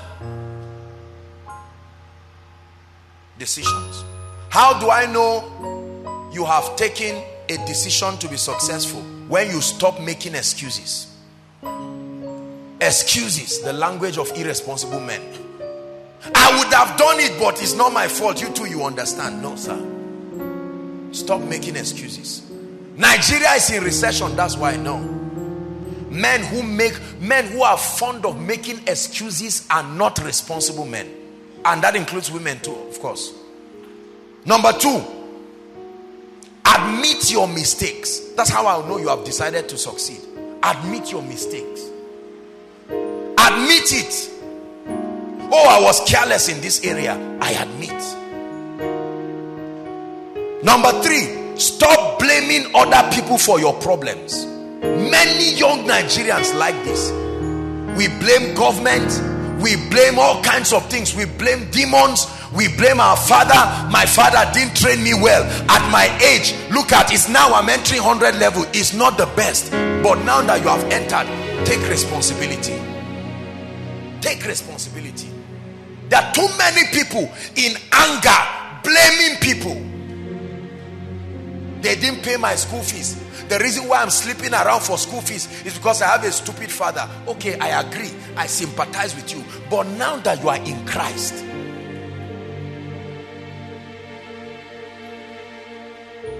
Is God speaking to us tonight? This teaching is becoming hot. Koinonia is quiet. I pray that is entering your spirit because that's the goal. Stop making excuses. Brother, stop making excuses. Stop making excuses. You are making the same excuse since you were 15. You are 31 now. Stop making excuses. Your father drove your mother when you were 9 years. Now you are 20. You are 20. 11 years ago. Get over it and move forward. Oh, apostle, I was raped when I was two years. I'm sorry. I feel very bad for you, but the God of heaven has helped. I, I, I'm, I'm not, I, I know it's very bad and it's disheartening, but get over it and move forward.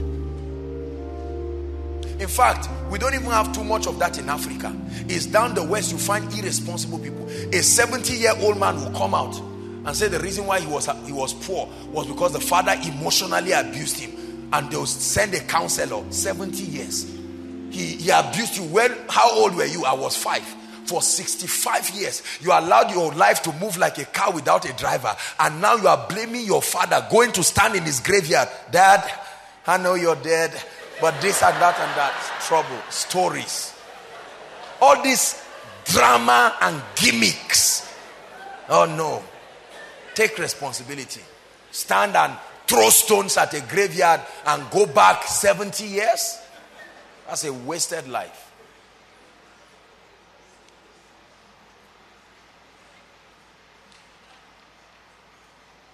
Indecision. Have you made a decision that you will succeed? Brothers, look at me. Have you made a decision that your children will not beg for school fees under your authority? Don't say amen. Have you made a decision? Have you made a decision that your wife will not be moving around and go and enter one bus and somebody will be pushing her pregnant nine months. Madam Shift. One small boy somewhere is pushing your wife. Have you made a decision to be responsible? Have you made a decision to train your children in the fear of the Lord? Have you made a decision to bring the banner of Jesus in your family?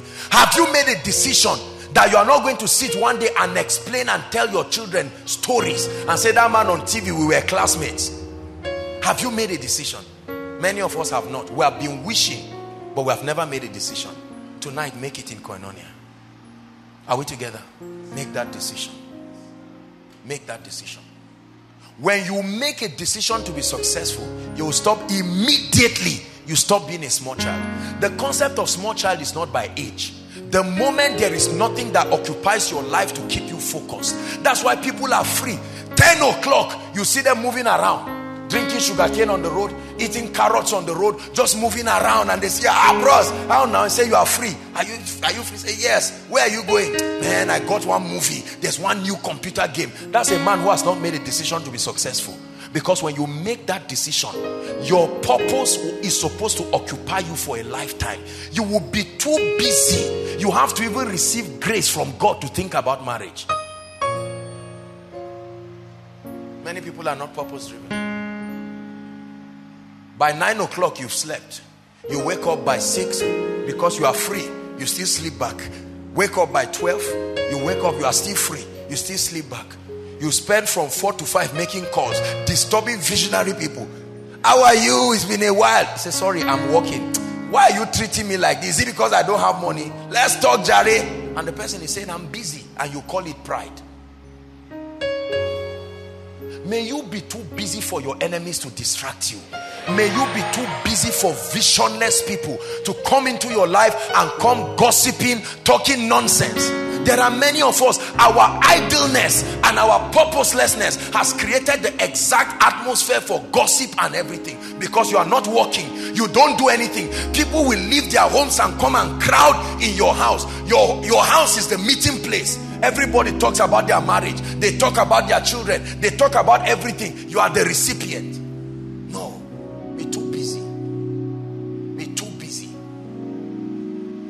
Are we together? Somebody wants to come and gossip. As he's coming close to your house, he sees that you are busy. There are so many things happening. Many brothers are too idle. They are too idle.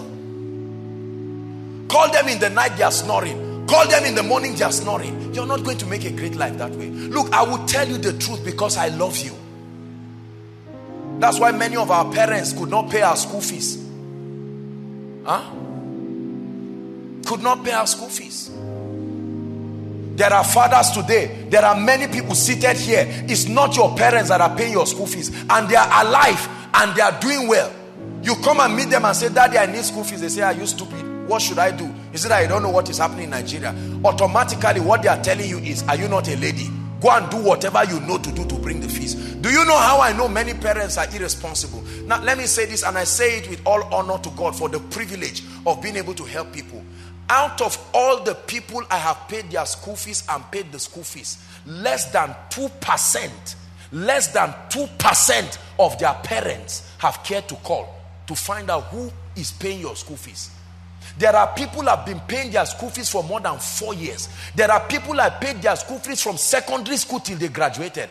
And not once did their parents call to say, Come, oh, who exactly is the man of God that is paying your school fees? Let's at least come and see him and say thank you. Are we together? Yeah. So I know what I'm saying. Very irresponsible people. There are people, some of you, as you are here now, although you are a student, you are still sending money home. Your father is alive. Your mother is alive. It's not that they are old, they cannot walk. They will even call you. My daughter, nothing for us this month. And they never ask you how the money is coming. So you don't even. Do you know? I made a statement and um, it is scaring me.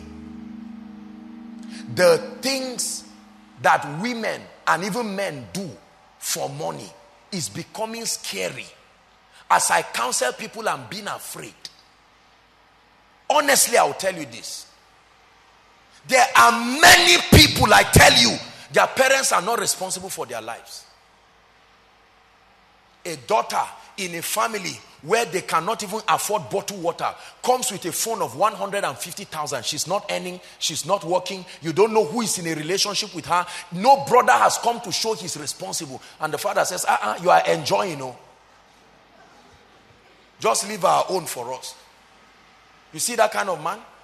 Somebody comes to drop your daughter by 11.30 in the night. 11.30 you are the one as the father opens the gate for him. Say, ah, my god look at this car welcome. She enters with a nude dressing that already shows hellfire. And yet you, you please see this thing i'm saying i'm not being hard on people i'm challenging something if you love jesus christ and you love your future you will love what i'm saying you may not love me but love what i'm saying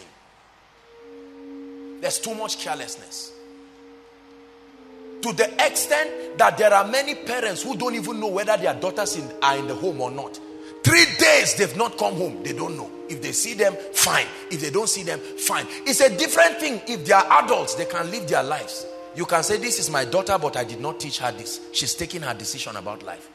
But you see some of these young ladies that move around, very small girls. They look at you, even as a man of God, they don't respect you. Because people older than you are the ones dealing with them. You greet them, they want to treat you like that man who was with them yesterday. A stupid attitude. They see you, you even look at them and you see them doing some funny things. You are trying to correct them and tell them something is wrong. Everybody in their eyes is a boyfriend. They don't know the difference between leaders. They are seeing their parents greeting a man of God and they come out and they are behaving all kinds of things. They think he's another toaster. No respect, no dignity. Are we together? Yeah. This is the carelessness that is happening in society. Do you know to the point that if you bless a lady and give her 5,000, she will be looking at you and smiling. It's like she's waiting for the other side of the deal. What other side? Are you hearing what I'm saying now? Because nobody helps for nothing. We live in a society where nobody helps for nothing. If I give you 10,000 naira, you know what to do tomorrow.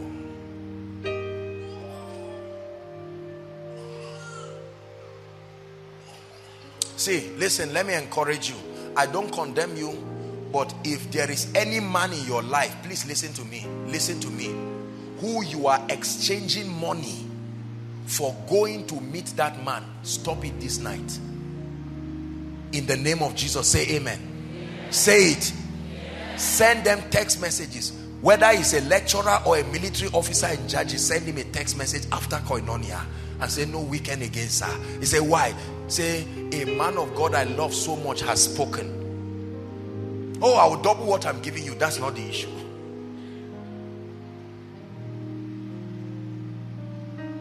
Are we together? It's very important. It's very disheartening. Please, if you're a parent here and you are listening to me, I'm not saying you sit down and probe your daughters. Ladies, please don't get it personal. But someone has got to talk to them. It's, it's, too, it's too much. It's too careless is too much.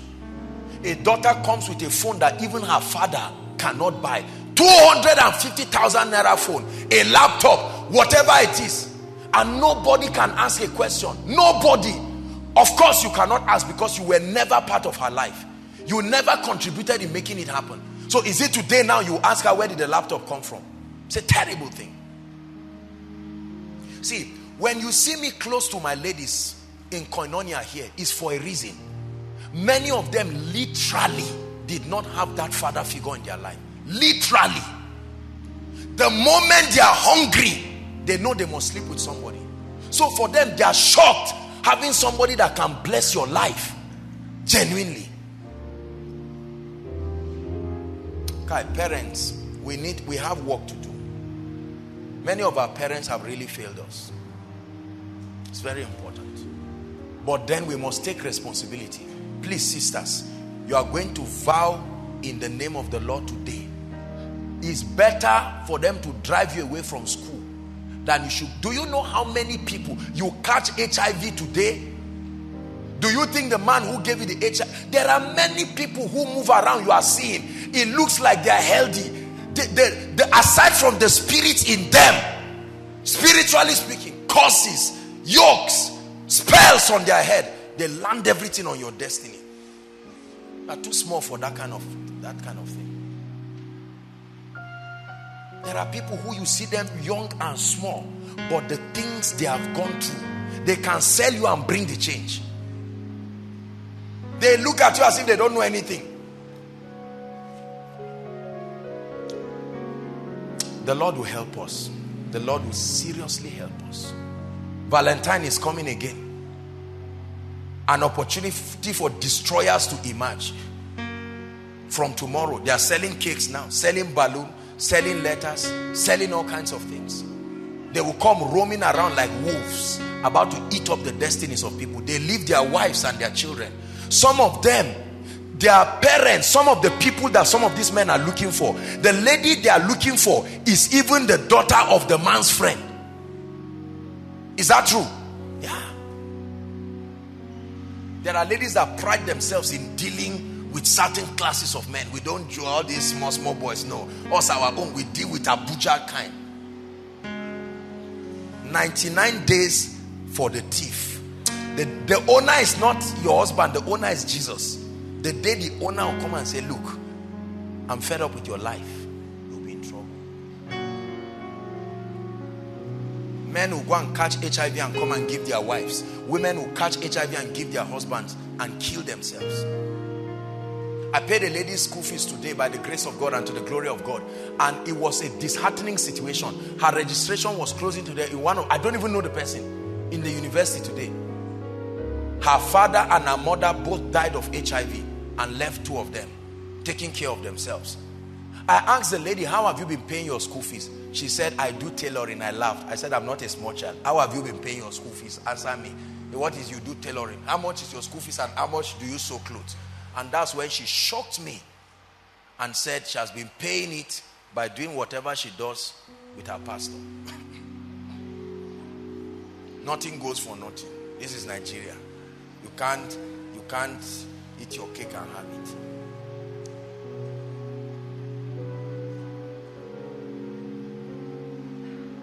I live to praise your name. I have no fear of what tomorrow brings. Hallelujah.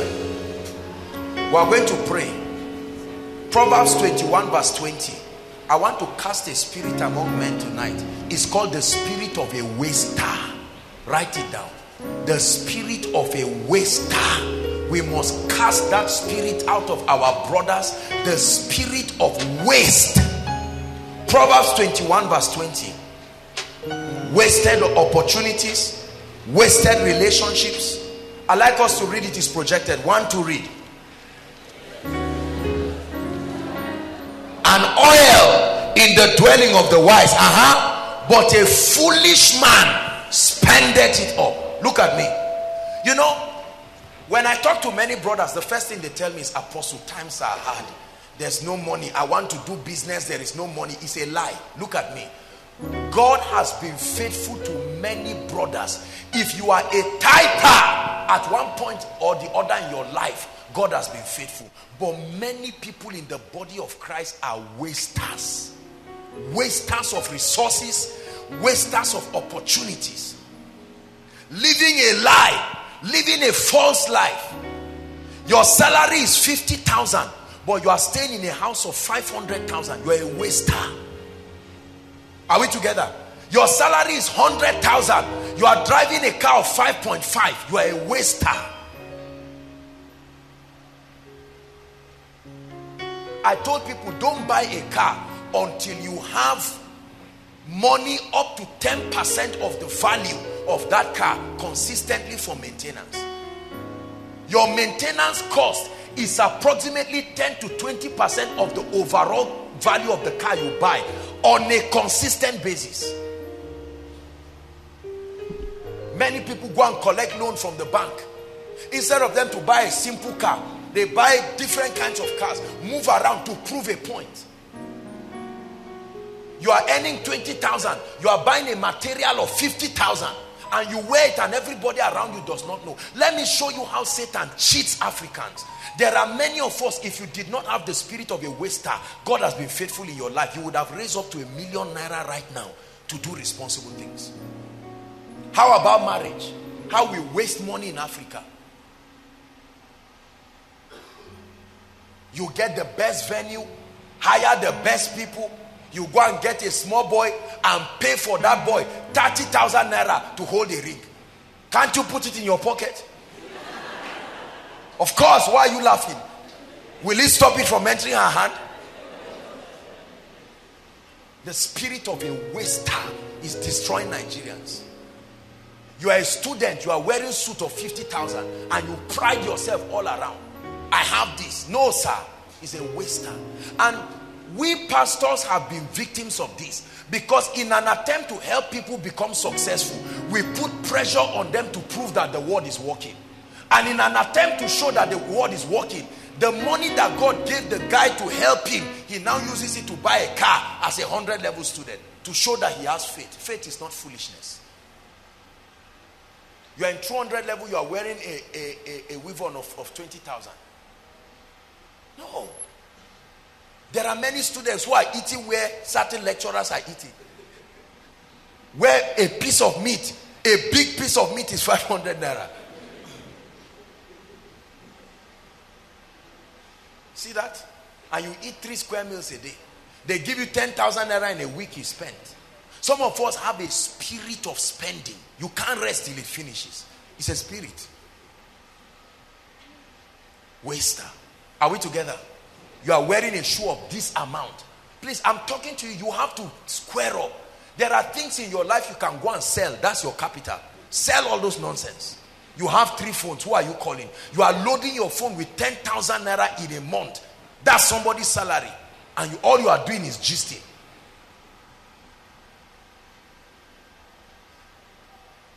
Rooms that we give the devil to destroy our lives. Praise the Lord. You are not doing anything. Your barber comes to meet you. 1,000 naira per baby. Can't you go and queue? What are you rushing for?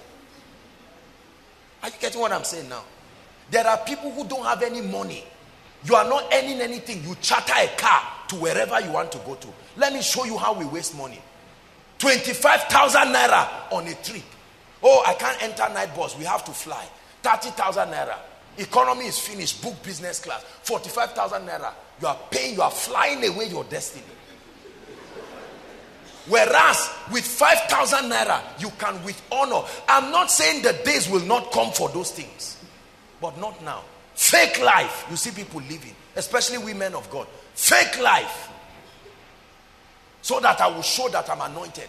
You go and buy a watch of 100,000, you are wearing it. No, let me tell you, when you rise, everything around you rises. So when you fake it, nothing around you can resonate with the level you claim to have been. You don't know anybody that warrants that level of influence. When Koinonia started here, with crowds of people packed to outside, I will come on a bike. A bike, miracle service. People are waiting. The next thing you hear sound of a bike, I will drop from it honorably with my Bible.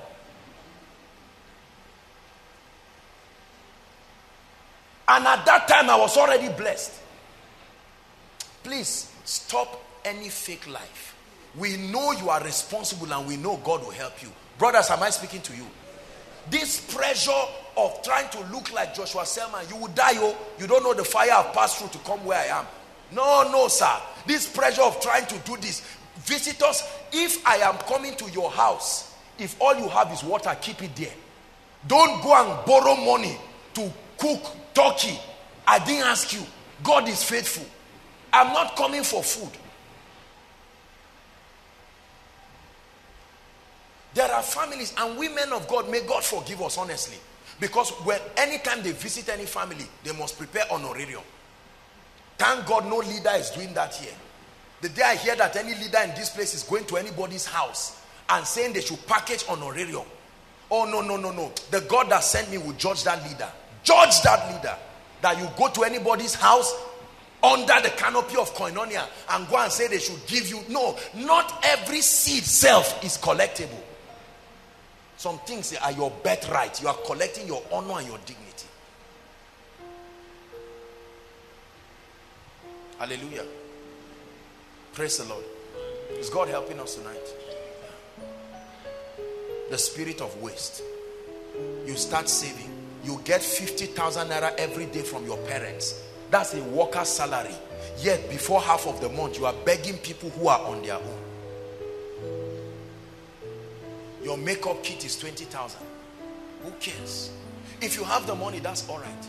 There are some of us now, you are planning marriage. You've not gone anywhere. You've spent 2.5. What are you doing with it?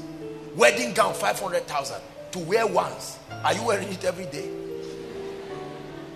Suit, 100,000. There is a particular anchor that this group, where is it in the Bible? If you don't have money, everybody should dress well. Just honor them. Will they deny that they are your parents? Must they dress in anko? Please hear what I'm saying. Oh. If eat your size and grow gradually, God will honor you. Honeymoon, you want to travel out to where? If you don't have the money, explain to your wife. Honeymoon is a mentality, not, a, not an act. Africans waste money. I was sharing with some people today 12 years celebration of getting born again, 13 years of getting filled with the Holy Spirit, two years of being delivered from smoking, and we organize a big ceremony. We fly people from everywhere. December, the entire savings of Nigerians for January to November finishes in three days. Three days of hilarious living. You buy hamper 14,000 per one. You buy almost 20 to share because you are looking for a good name in church. No, sir. There are brothers here, you have no business buying a laptop. You don't have the money. There are sisters, you have no business buying certain materials. If all you have is one trouser, my brother, iron it with dignity. The God of heaven who sees you will honor you. You are not irresponsible. If you meet the sister and she doesn't like you because of the trouser, God just saved you from a bad wife. Go away and trust God for a lady who knows how to see in the spirit.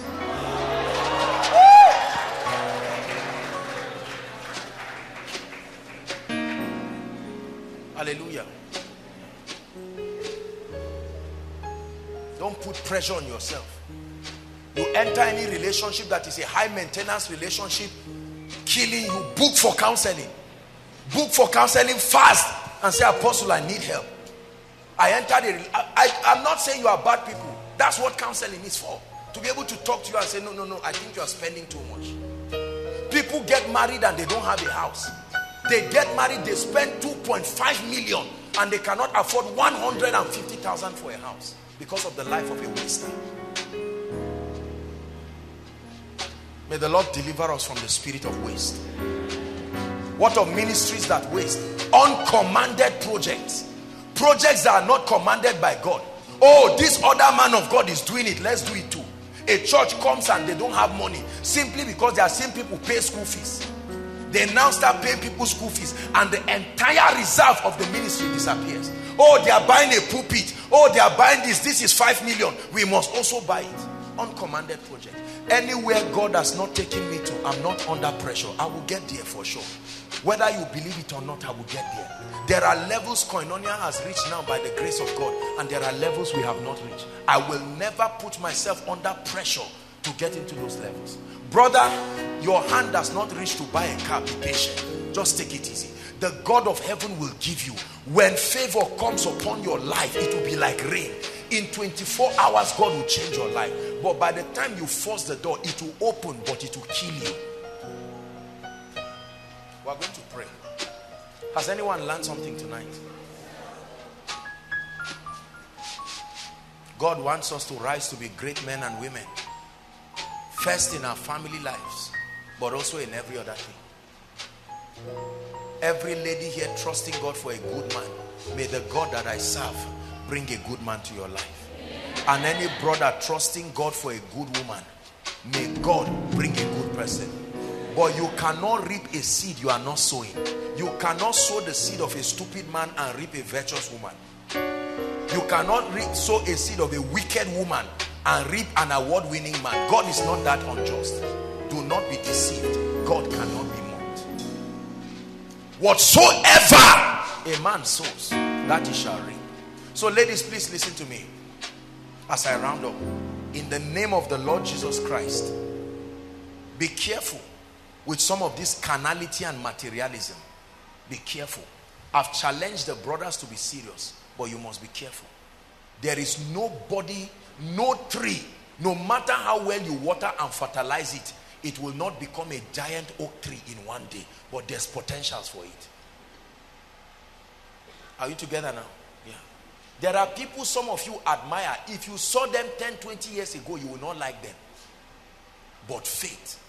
I saw one man of God, when I saw his picture, it was as if he was with rope he used to tie his waist. You can use measuring tape and tie the waist. His wedding with his wife, she just stood as if they carried that cap, as if they carried cap somewhere and just put on her head. And the guy, the guy should be a multi-millionaire, if not a billionaire today. He lavishes upon his wife like there's no tomorrow. That's the price of taking the risk with the man. If you are risk averse, you sit down there. Is God helping us? And brothers, be responsible. Don't take for granted that I've told ladies to be responsible to be responsible and you sit down. You are stingy, you are greedy, you are in a relationship. Valentine is coming. You are pretending like you don't know. Plan. You must do something on Tuesday. Plan. Plan. You have today, Saturday, Sunday, Monday, Tuesday morning. Plan. So that you don't take for granted and say, because some of those things are laziness. Please, we must balance it. Brothers, you must be serious. Sisters, you must be serious. Make up your mind that you are going to make a good decision. Dissociate from any dangerous and poisonous relationship. Brother, you are in a relationship that is, is killing you, is eating you up spiritually and financially. I may not advise you to break, but I advise you to cry for help. Cry for help. Don't die in silence. Sister, you are in a relationship with a brother who is oppressing you and making nonsense out of your life because I said you should be virtuous. Cry for help. And if it's not changing, leave him. Leave him. It is scriptural to live a relationship that does not represent where you are going. Are we together? We're going to pray. We'll continue tomorrow during the workers' retreat. Rise up on your feet.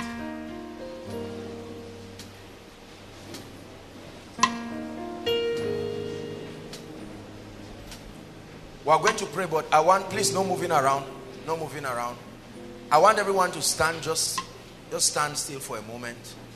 And I want you to think about your life in one minute. Especially for the brothers. I want you to meditate upon your life in one minute. What will your 10 years be from now? What will your 20 years be? At the rate you are going with your life, at the rate of your mindset, at the rate at which your understanding is, what kind of results are you producing? Sister, look at your life now and be sincere between you and the God of heaven. The seeds you are sowing now, what kind of harvest do you see in front of you? Now, I want you to lift your voice before the God of heaven. In the next two or three minutes, cry. He says, My help comes from the Lord. Cry, cry, cry, cry. Please, I want you to cry to God. I've said many things tonight, and you know where it affects you. I want you to cry before God in one minute. Lord, I have seen a mindset I've seen a mindset that is destructive. I need you to help me. I'm a godly brother, but I've seen that I've been irresponsible. I have been lazy. Lazy about my relationship, lazy about my life. I've been giving flimsy excuses. I take responsibility tonight. Are you praying? I am a lady and I've allowed a wrong mindset, a materialistic mindset a mindset that is carnal to consume me i ask you for help lift your voice and pray if every other thing i said tonight touched you anywhere please lift your voice and cry to the god of heaven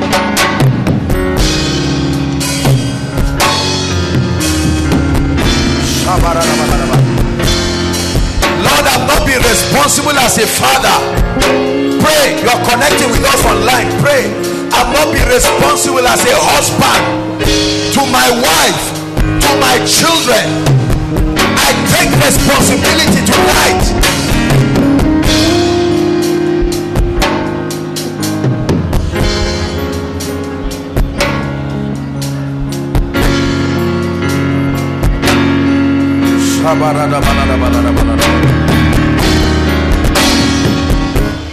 Hallelujah.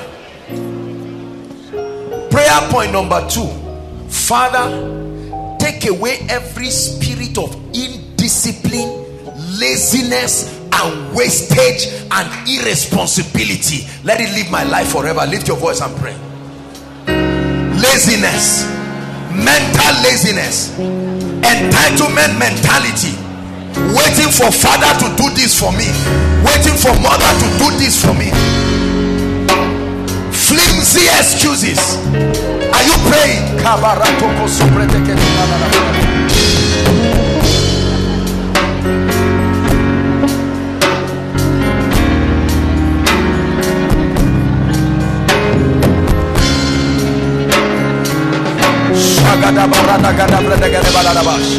Please pray. This is your destiny. Pray. This is your destiny. Pray. This is your destiny.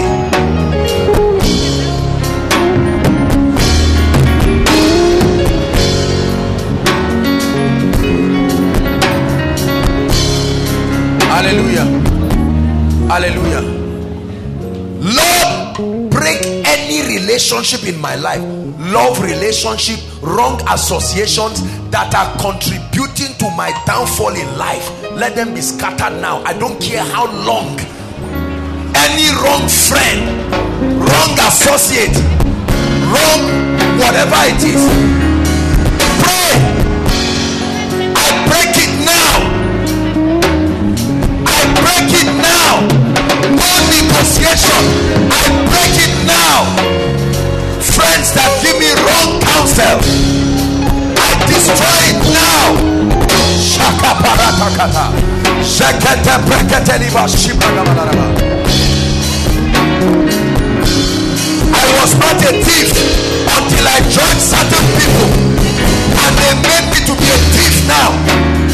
I was not a bad girl until I joined certain cabals. Break free from those relationships.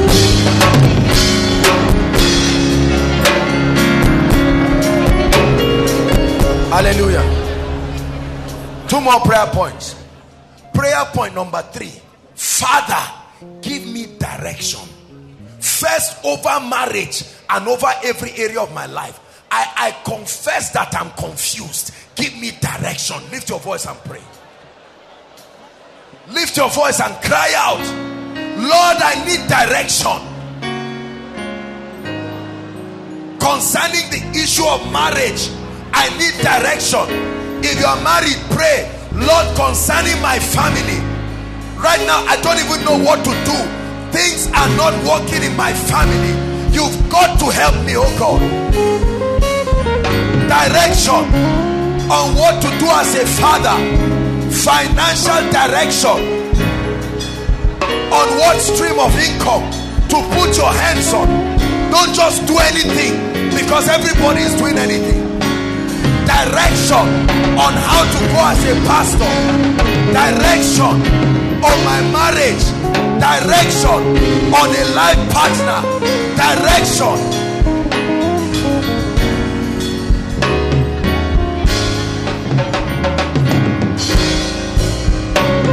Hallelujah. Let me add one more prayer point before the last one. You're going to say, Lord, walk in me and walk on me. Anything that makes me not to be the ideal wife anything don't pray for husband yet.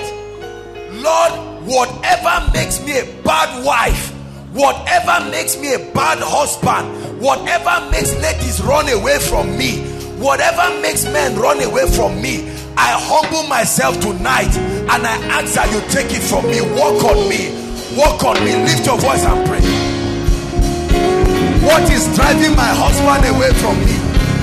What is driving my wife away from me? Is there something I'm doing wrong? What is driving my destiny helper away from me? What is driving the anointing away from me? What is driving favor away from me? What is driving breakthrough? Pray from your heart. There must be something I'm doing wrong. Why does my husband not love me? I may be getting it wrong somewhere. Why does my wife not love me? I must be getting it wrong somewhere. Why is our relationship up today and down tomorrow? Something must be wrong. I take responsibility. No passing blames.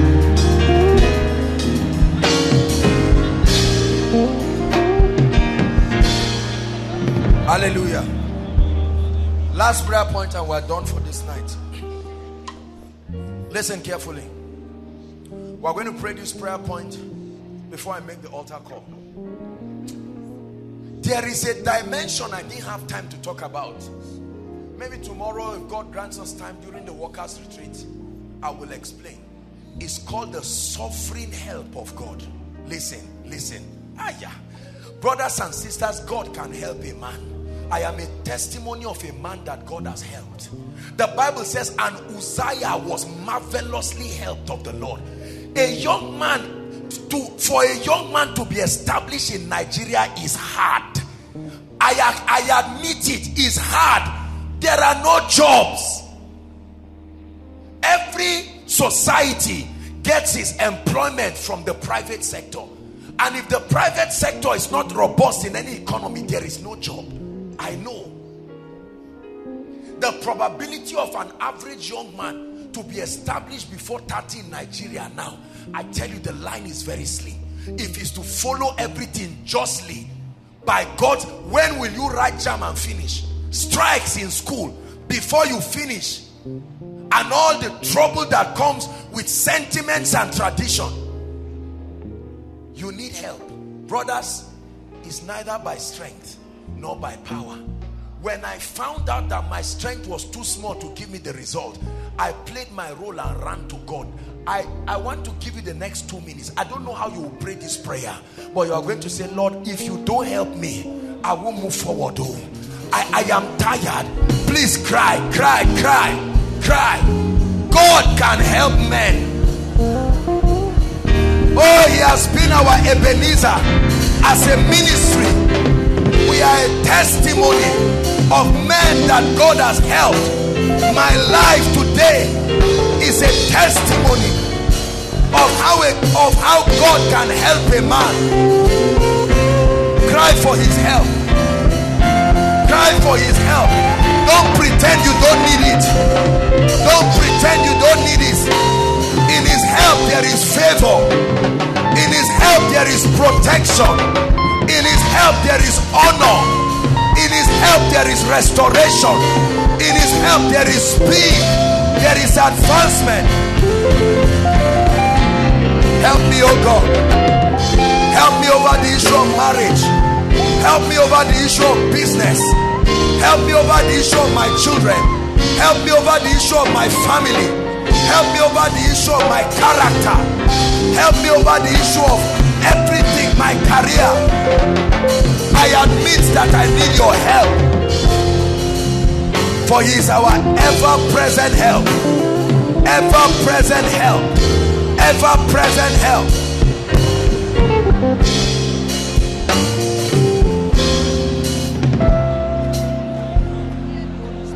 Hallelujah. Hallelujah. Listen, if you forget anything I've shared tonight, don't forget that God can help me.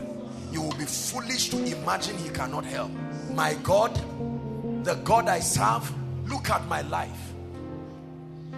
That God cannot help a ministry. Look around and bring one koinonia poster that you've seen on the road. That God cannot help a people. Look at the financial records of the millions of naira spent by this ministry. Debt free completely. Not owing any man as a ministry dead or alive. Listen, brothers and sisters, God can help a man. I tell you, he can deliver you. He can protect you. Some of us have been trying on our strength. We are going to pray that prayer one more time and say, Lord, I give up my strength. I lay down my pride. Please help me. Help me to be established. I'm getting older and older, and at the rate of the way things are going, my job cannot establish me, my salary cannot establish me, my business cannot establish me. I need help from heaven.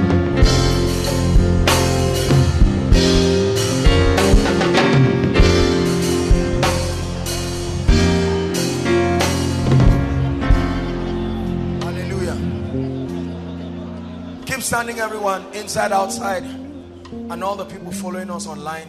Whatever nation you are in, it doesn't matter. Distance is no barrier. Please listen. I want to make a very serious altar call now, two in one. First and foremost, those who are saying, Man of God, I've been waiting for this call because I'm about to run to Jesus right now. I don't like the way my life is going. I need Jesus. You don't need counseling for some people, you need Jesus. There's no level of counseling that will that will replace lack of the life of God. Don't sit down. This is not an initiation to be a Christian. This is a serious affair with your destiny. Are we together now? The second group of people are those that are saying, Lord, I'm coming before you to truly repent. I'm asking you to help me. I'm asking you to help me with all my heart. You may not be sleeping around, you may not be drinking, you may not be smoking, but you know your life is as scattered as whatever.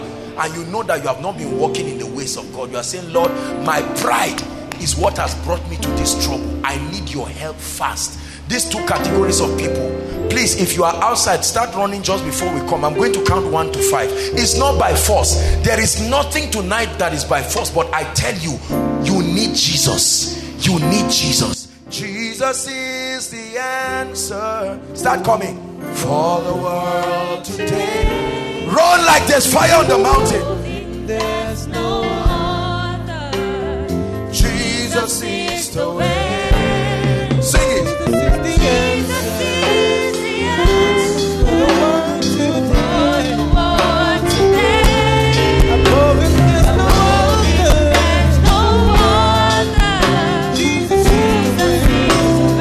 Are you coming or you're still thinking about it? The war tonight. This is over your destiny.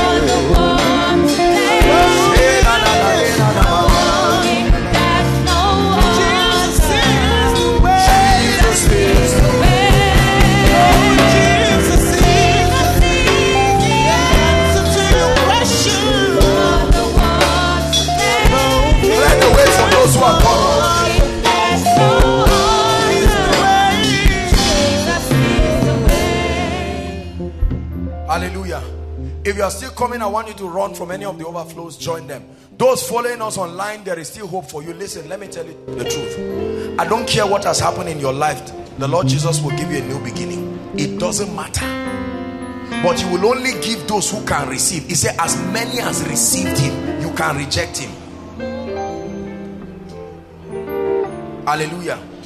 Those of you in front, lift your right hand to heaven. You are not reciting a poem this is not a memory verse. This is not a recitation.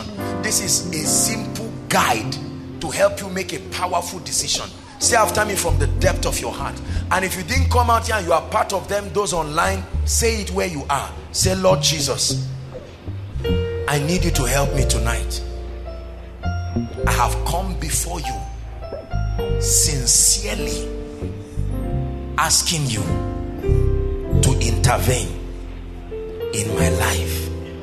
I receive your life into my spirit and I declare that from today my sins are forgiven. I have the life of God. I move forward ever and backward never. The power of Satan, the power of sin, and the flesh is broken over my life. In the name of Jesus. Keep your hands lifted. Lord Jesus, there is no man who can be perfect by himself outside of you. You are our righteousness, our holiness, and our perfection. I pray for these ones who have come. In the name of Jesus, I declare your sins forgiven by the blood of Jesus. And I declare by the power of the Holy Spirit that a new life starts for you today. The grace to be responsible and to rise like an edifice is released upon you. In the name of Jesus, may your path be like a shining light that shines brighter and brighter unto the perfect day in the name of Jesus Christ. Every guilt, every condemnation over your life, I declare that it leaves your life now and forever. In the mighty name of Jesus. Amen and amen. God bless you for this great decision. Please follow who's there. Follow someone waving his or her hands. Okay. Okay, lady, she's waving her hands. All of you this way. Just follow them. Please provide your details as required. And the Lord will help you in the name of Jesus. Hallelujah. Praise the Lord. Hello. Scriptures exhort us from the book of Proverbs. It says, My son, attend to my sins, incline thy ears to my words. Let them not depart from thy eyes, and keep them in the midst of thee. As you have listened to this message, we believe that you are going to reap the blessings thereof if you attend to these words as well that you will keep these words in the midst of your heart. That no matter the circumstance, your eyes are going to be fixed on these words. And as you have been blessed, we will tell you to share this message. Be an evangelist by sharing to others to be blessed. And then subscribe to this channel for us because we have loads of videos, we have loads of content that is going to make you blessed, that is going to set you on course, that is going to set you ablaze. And don't forget to like for us. Thank you.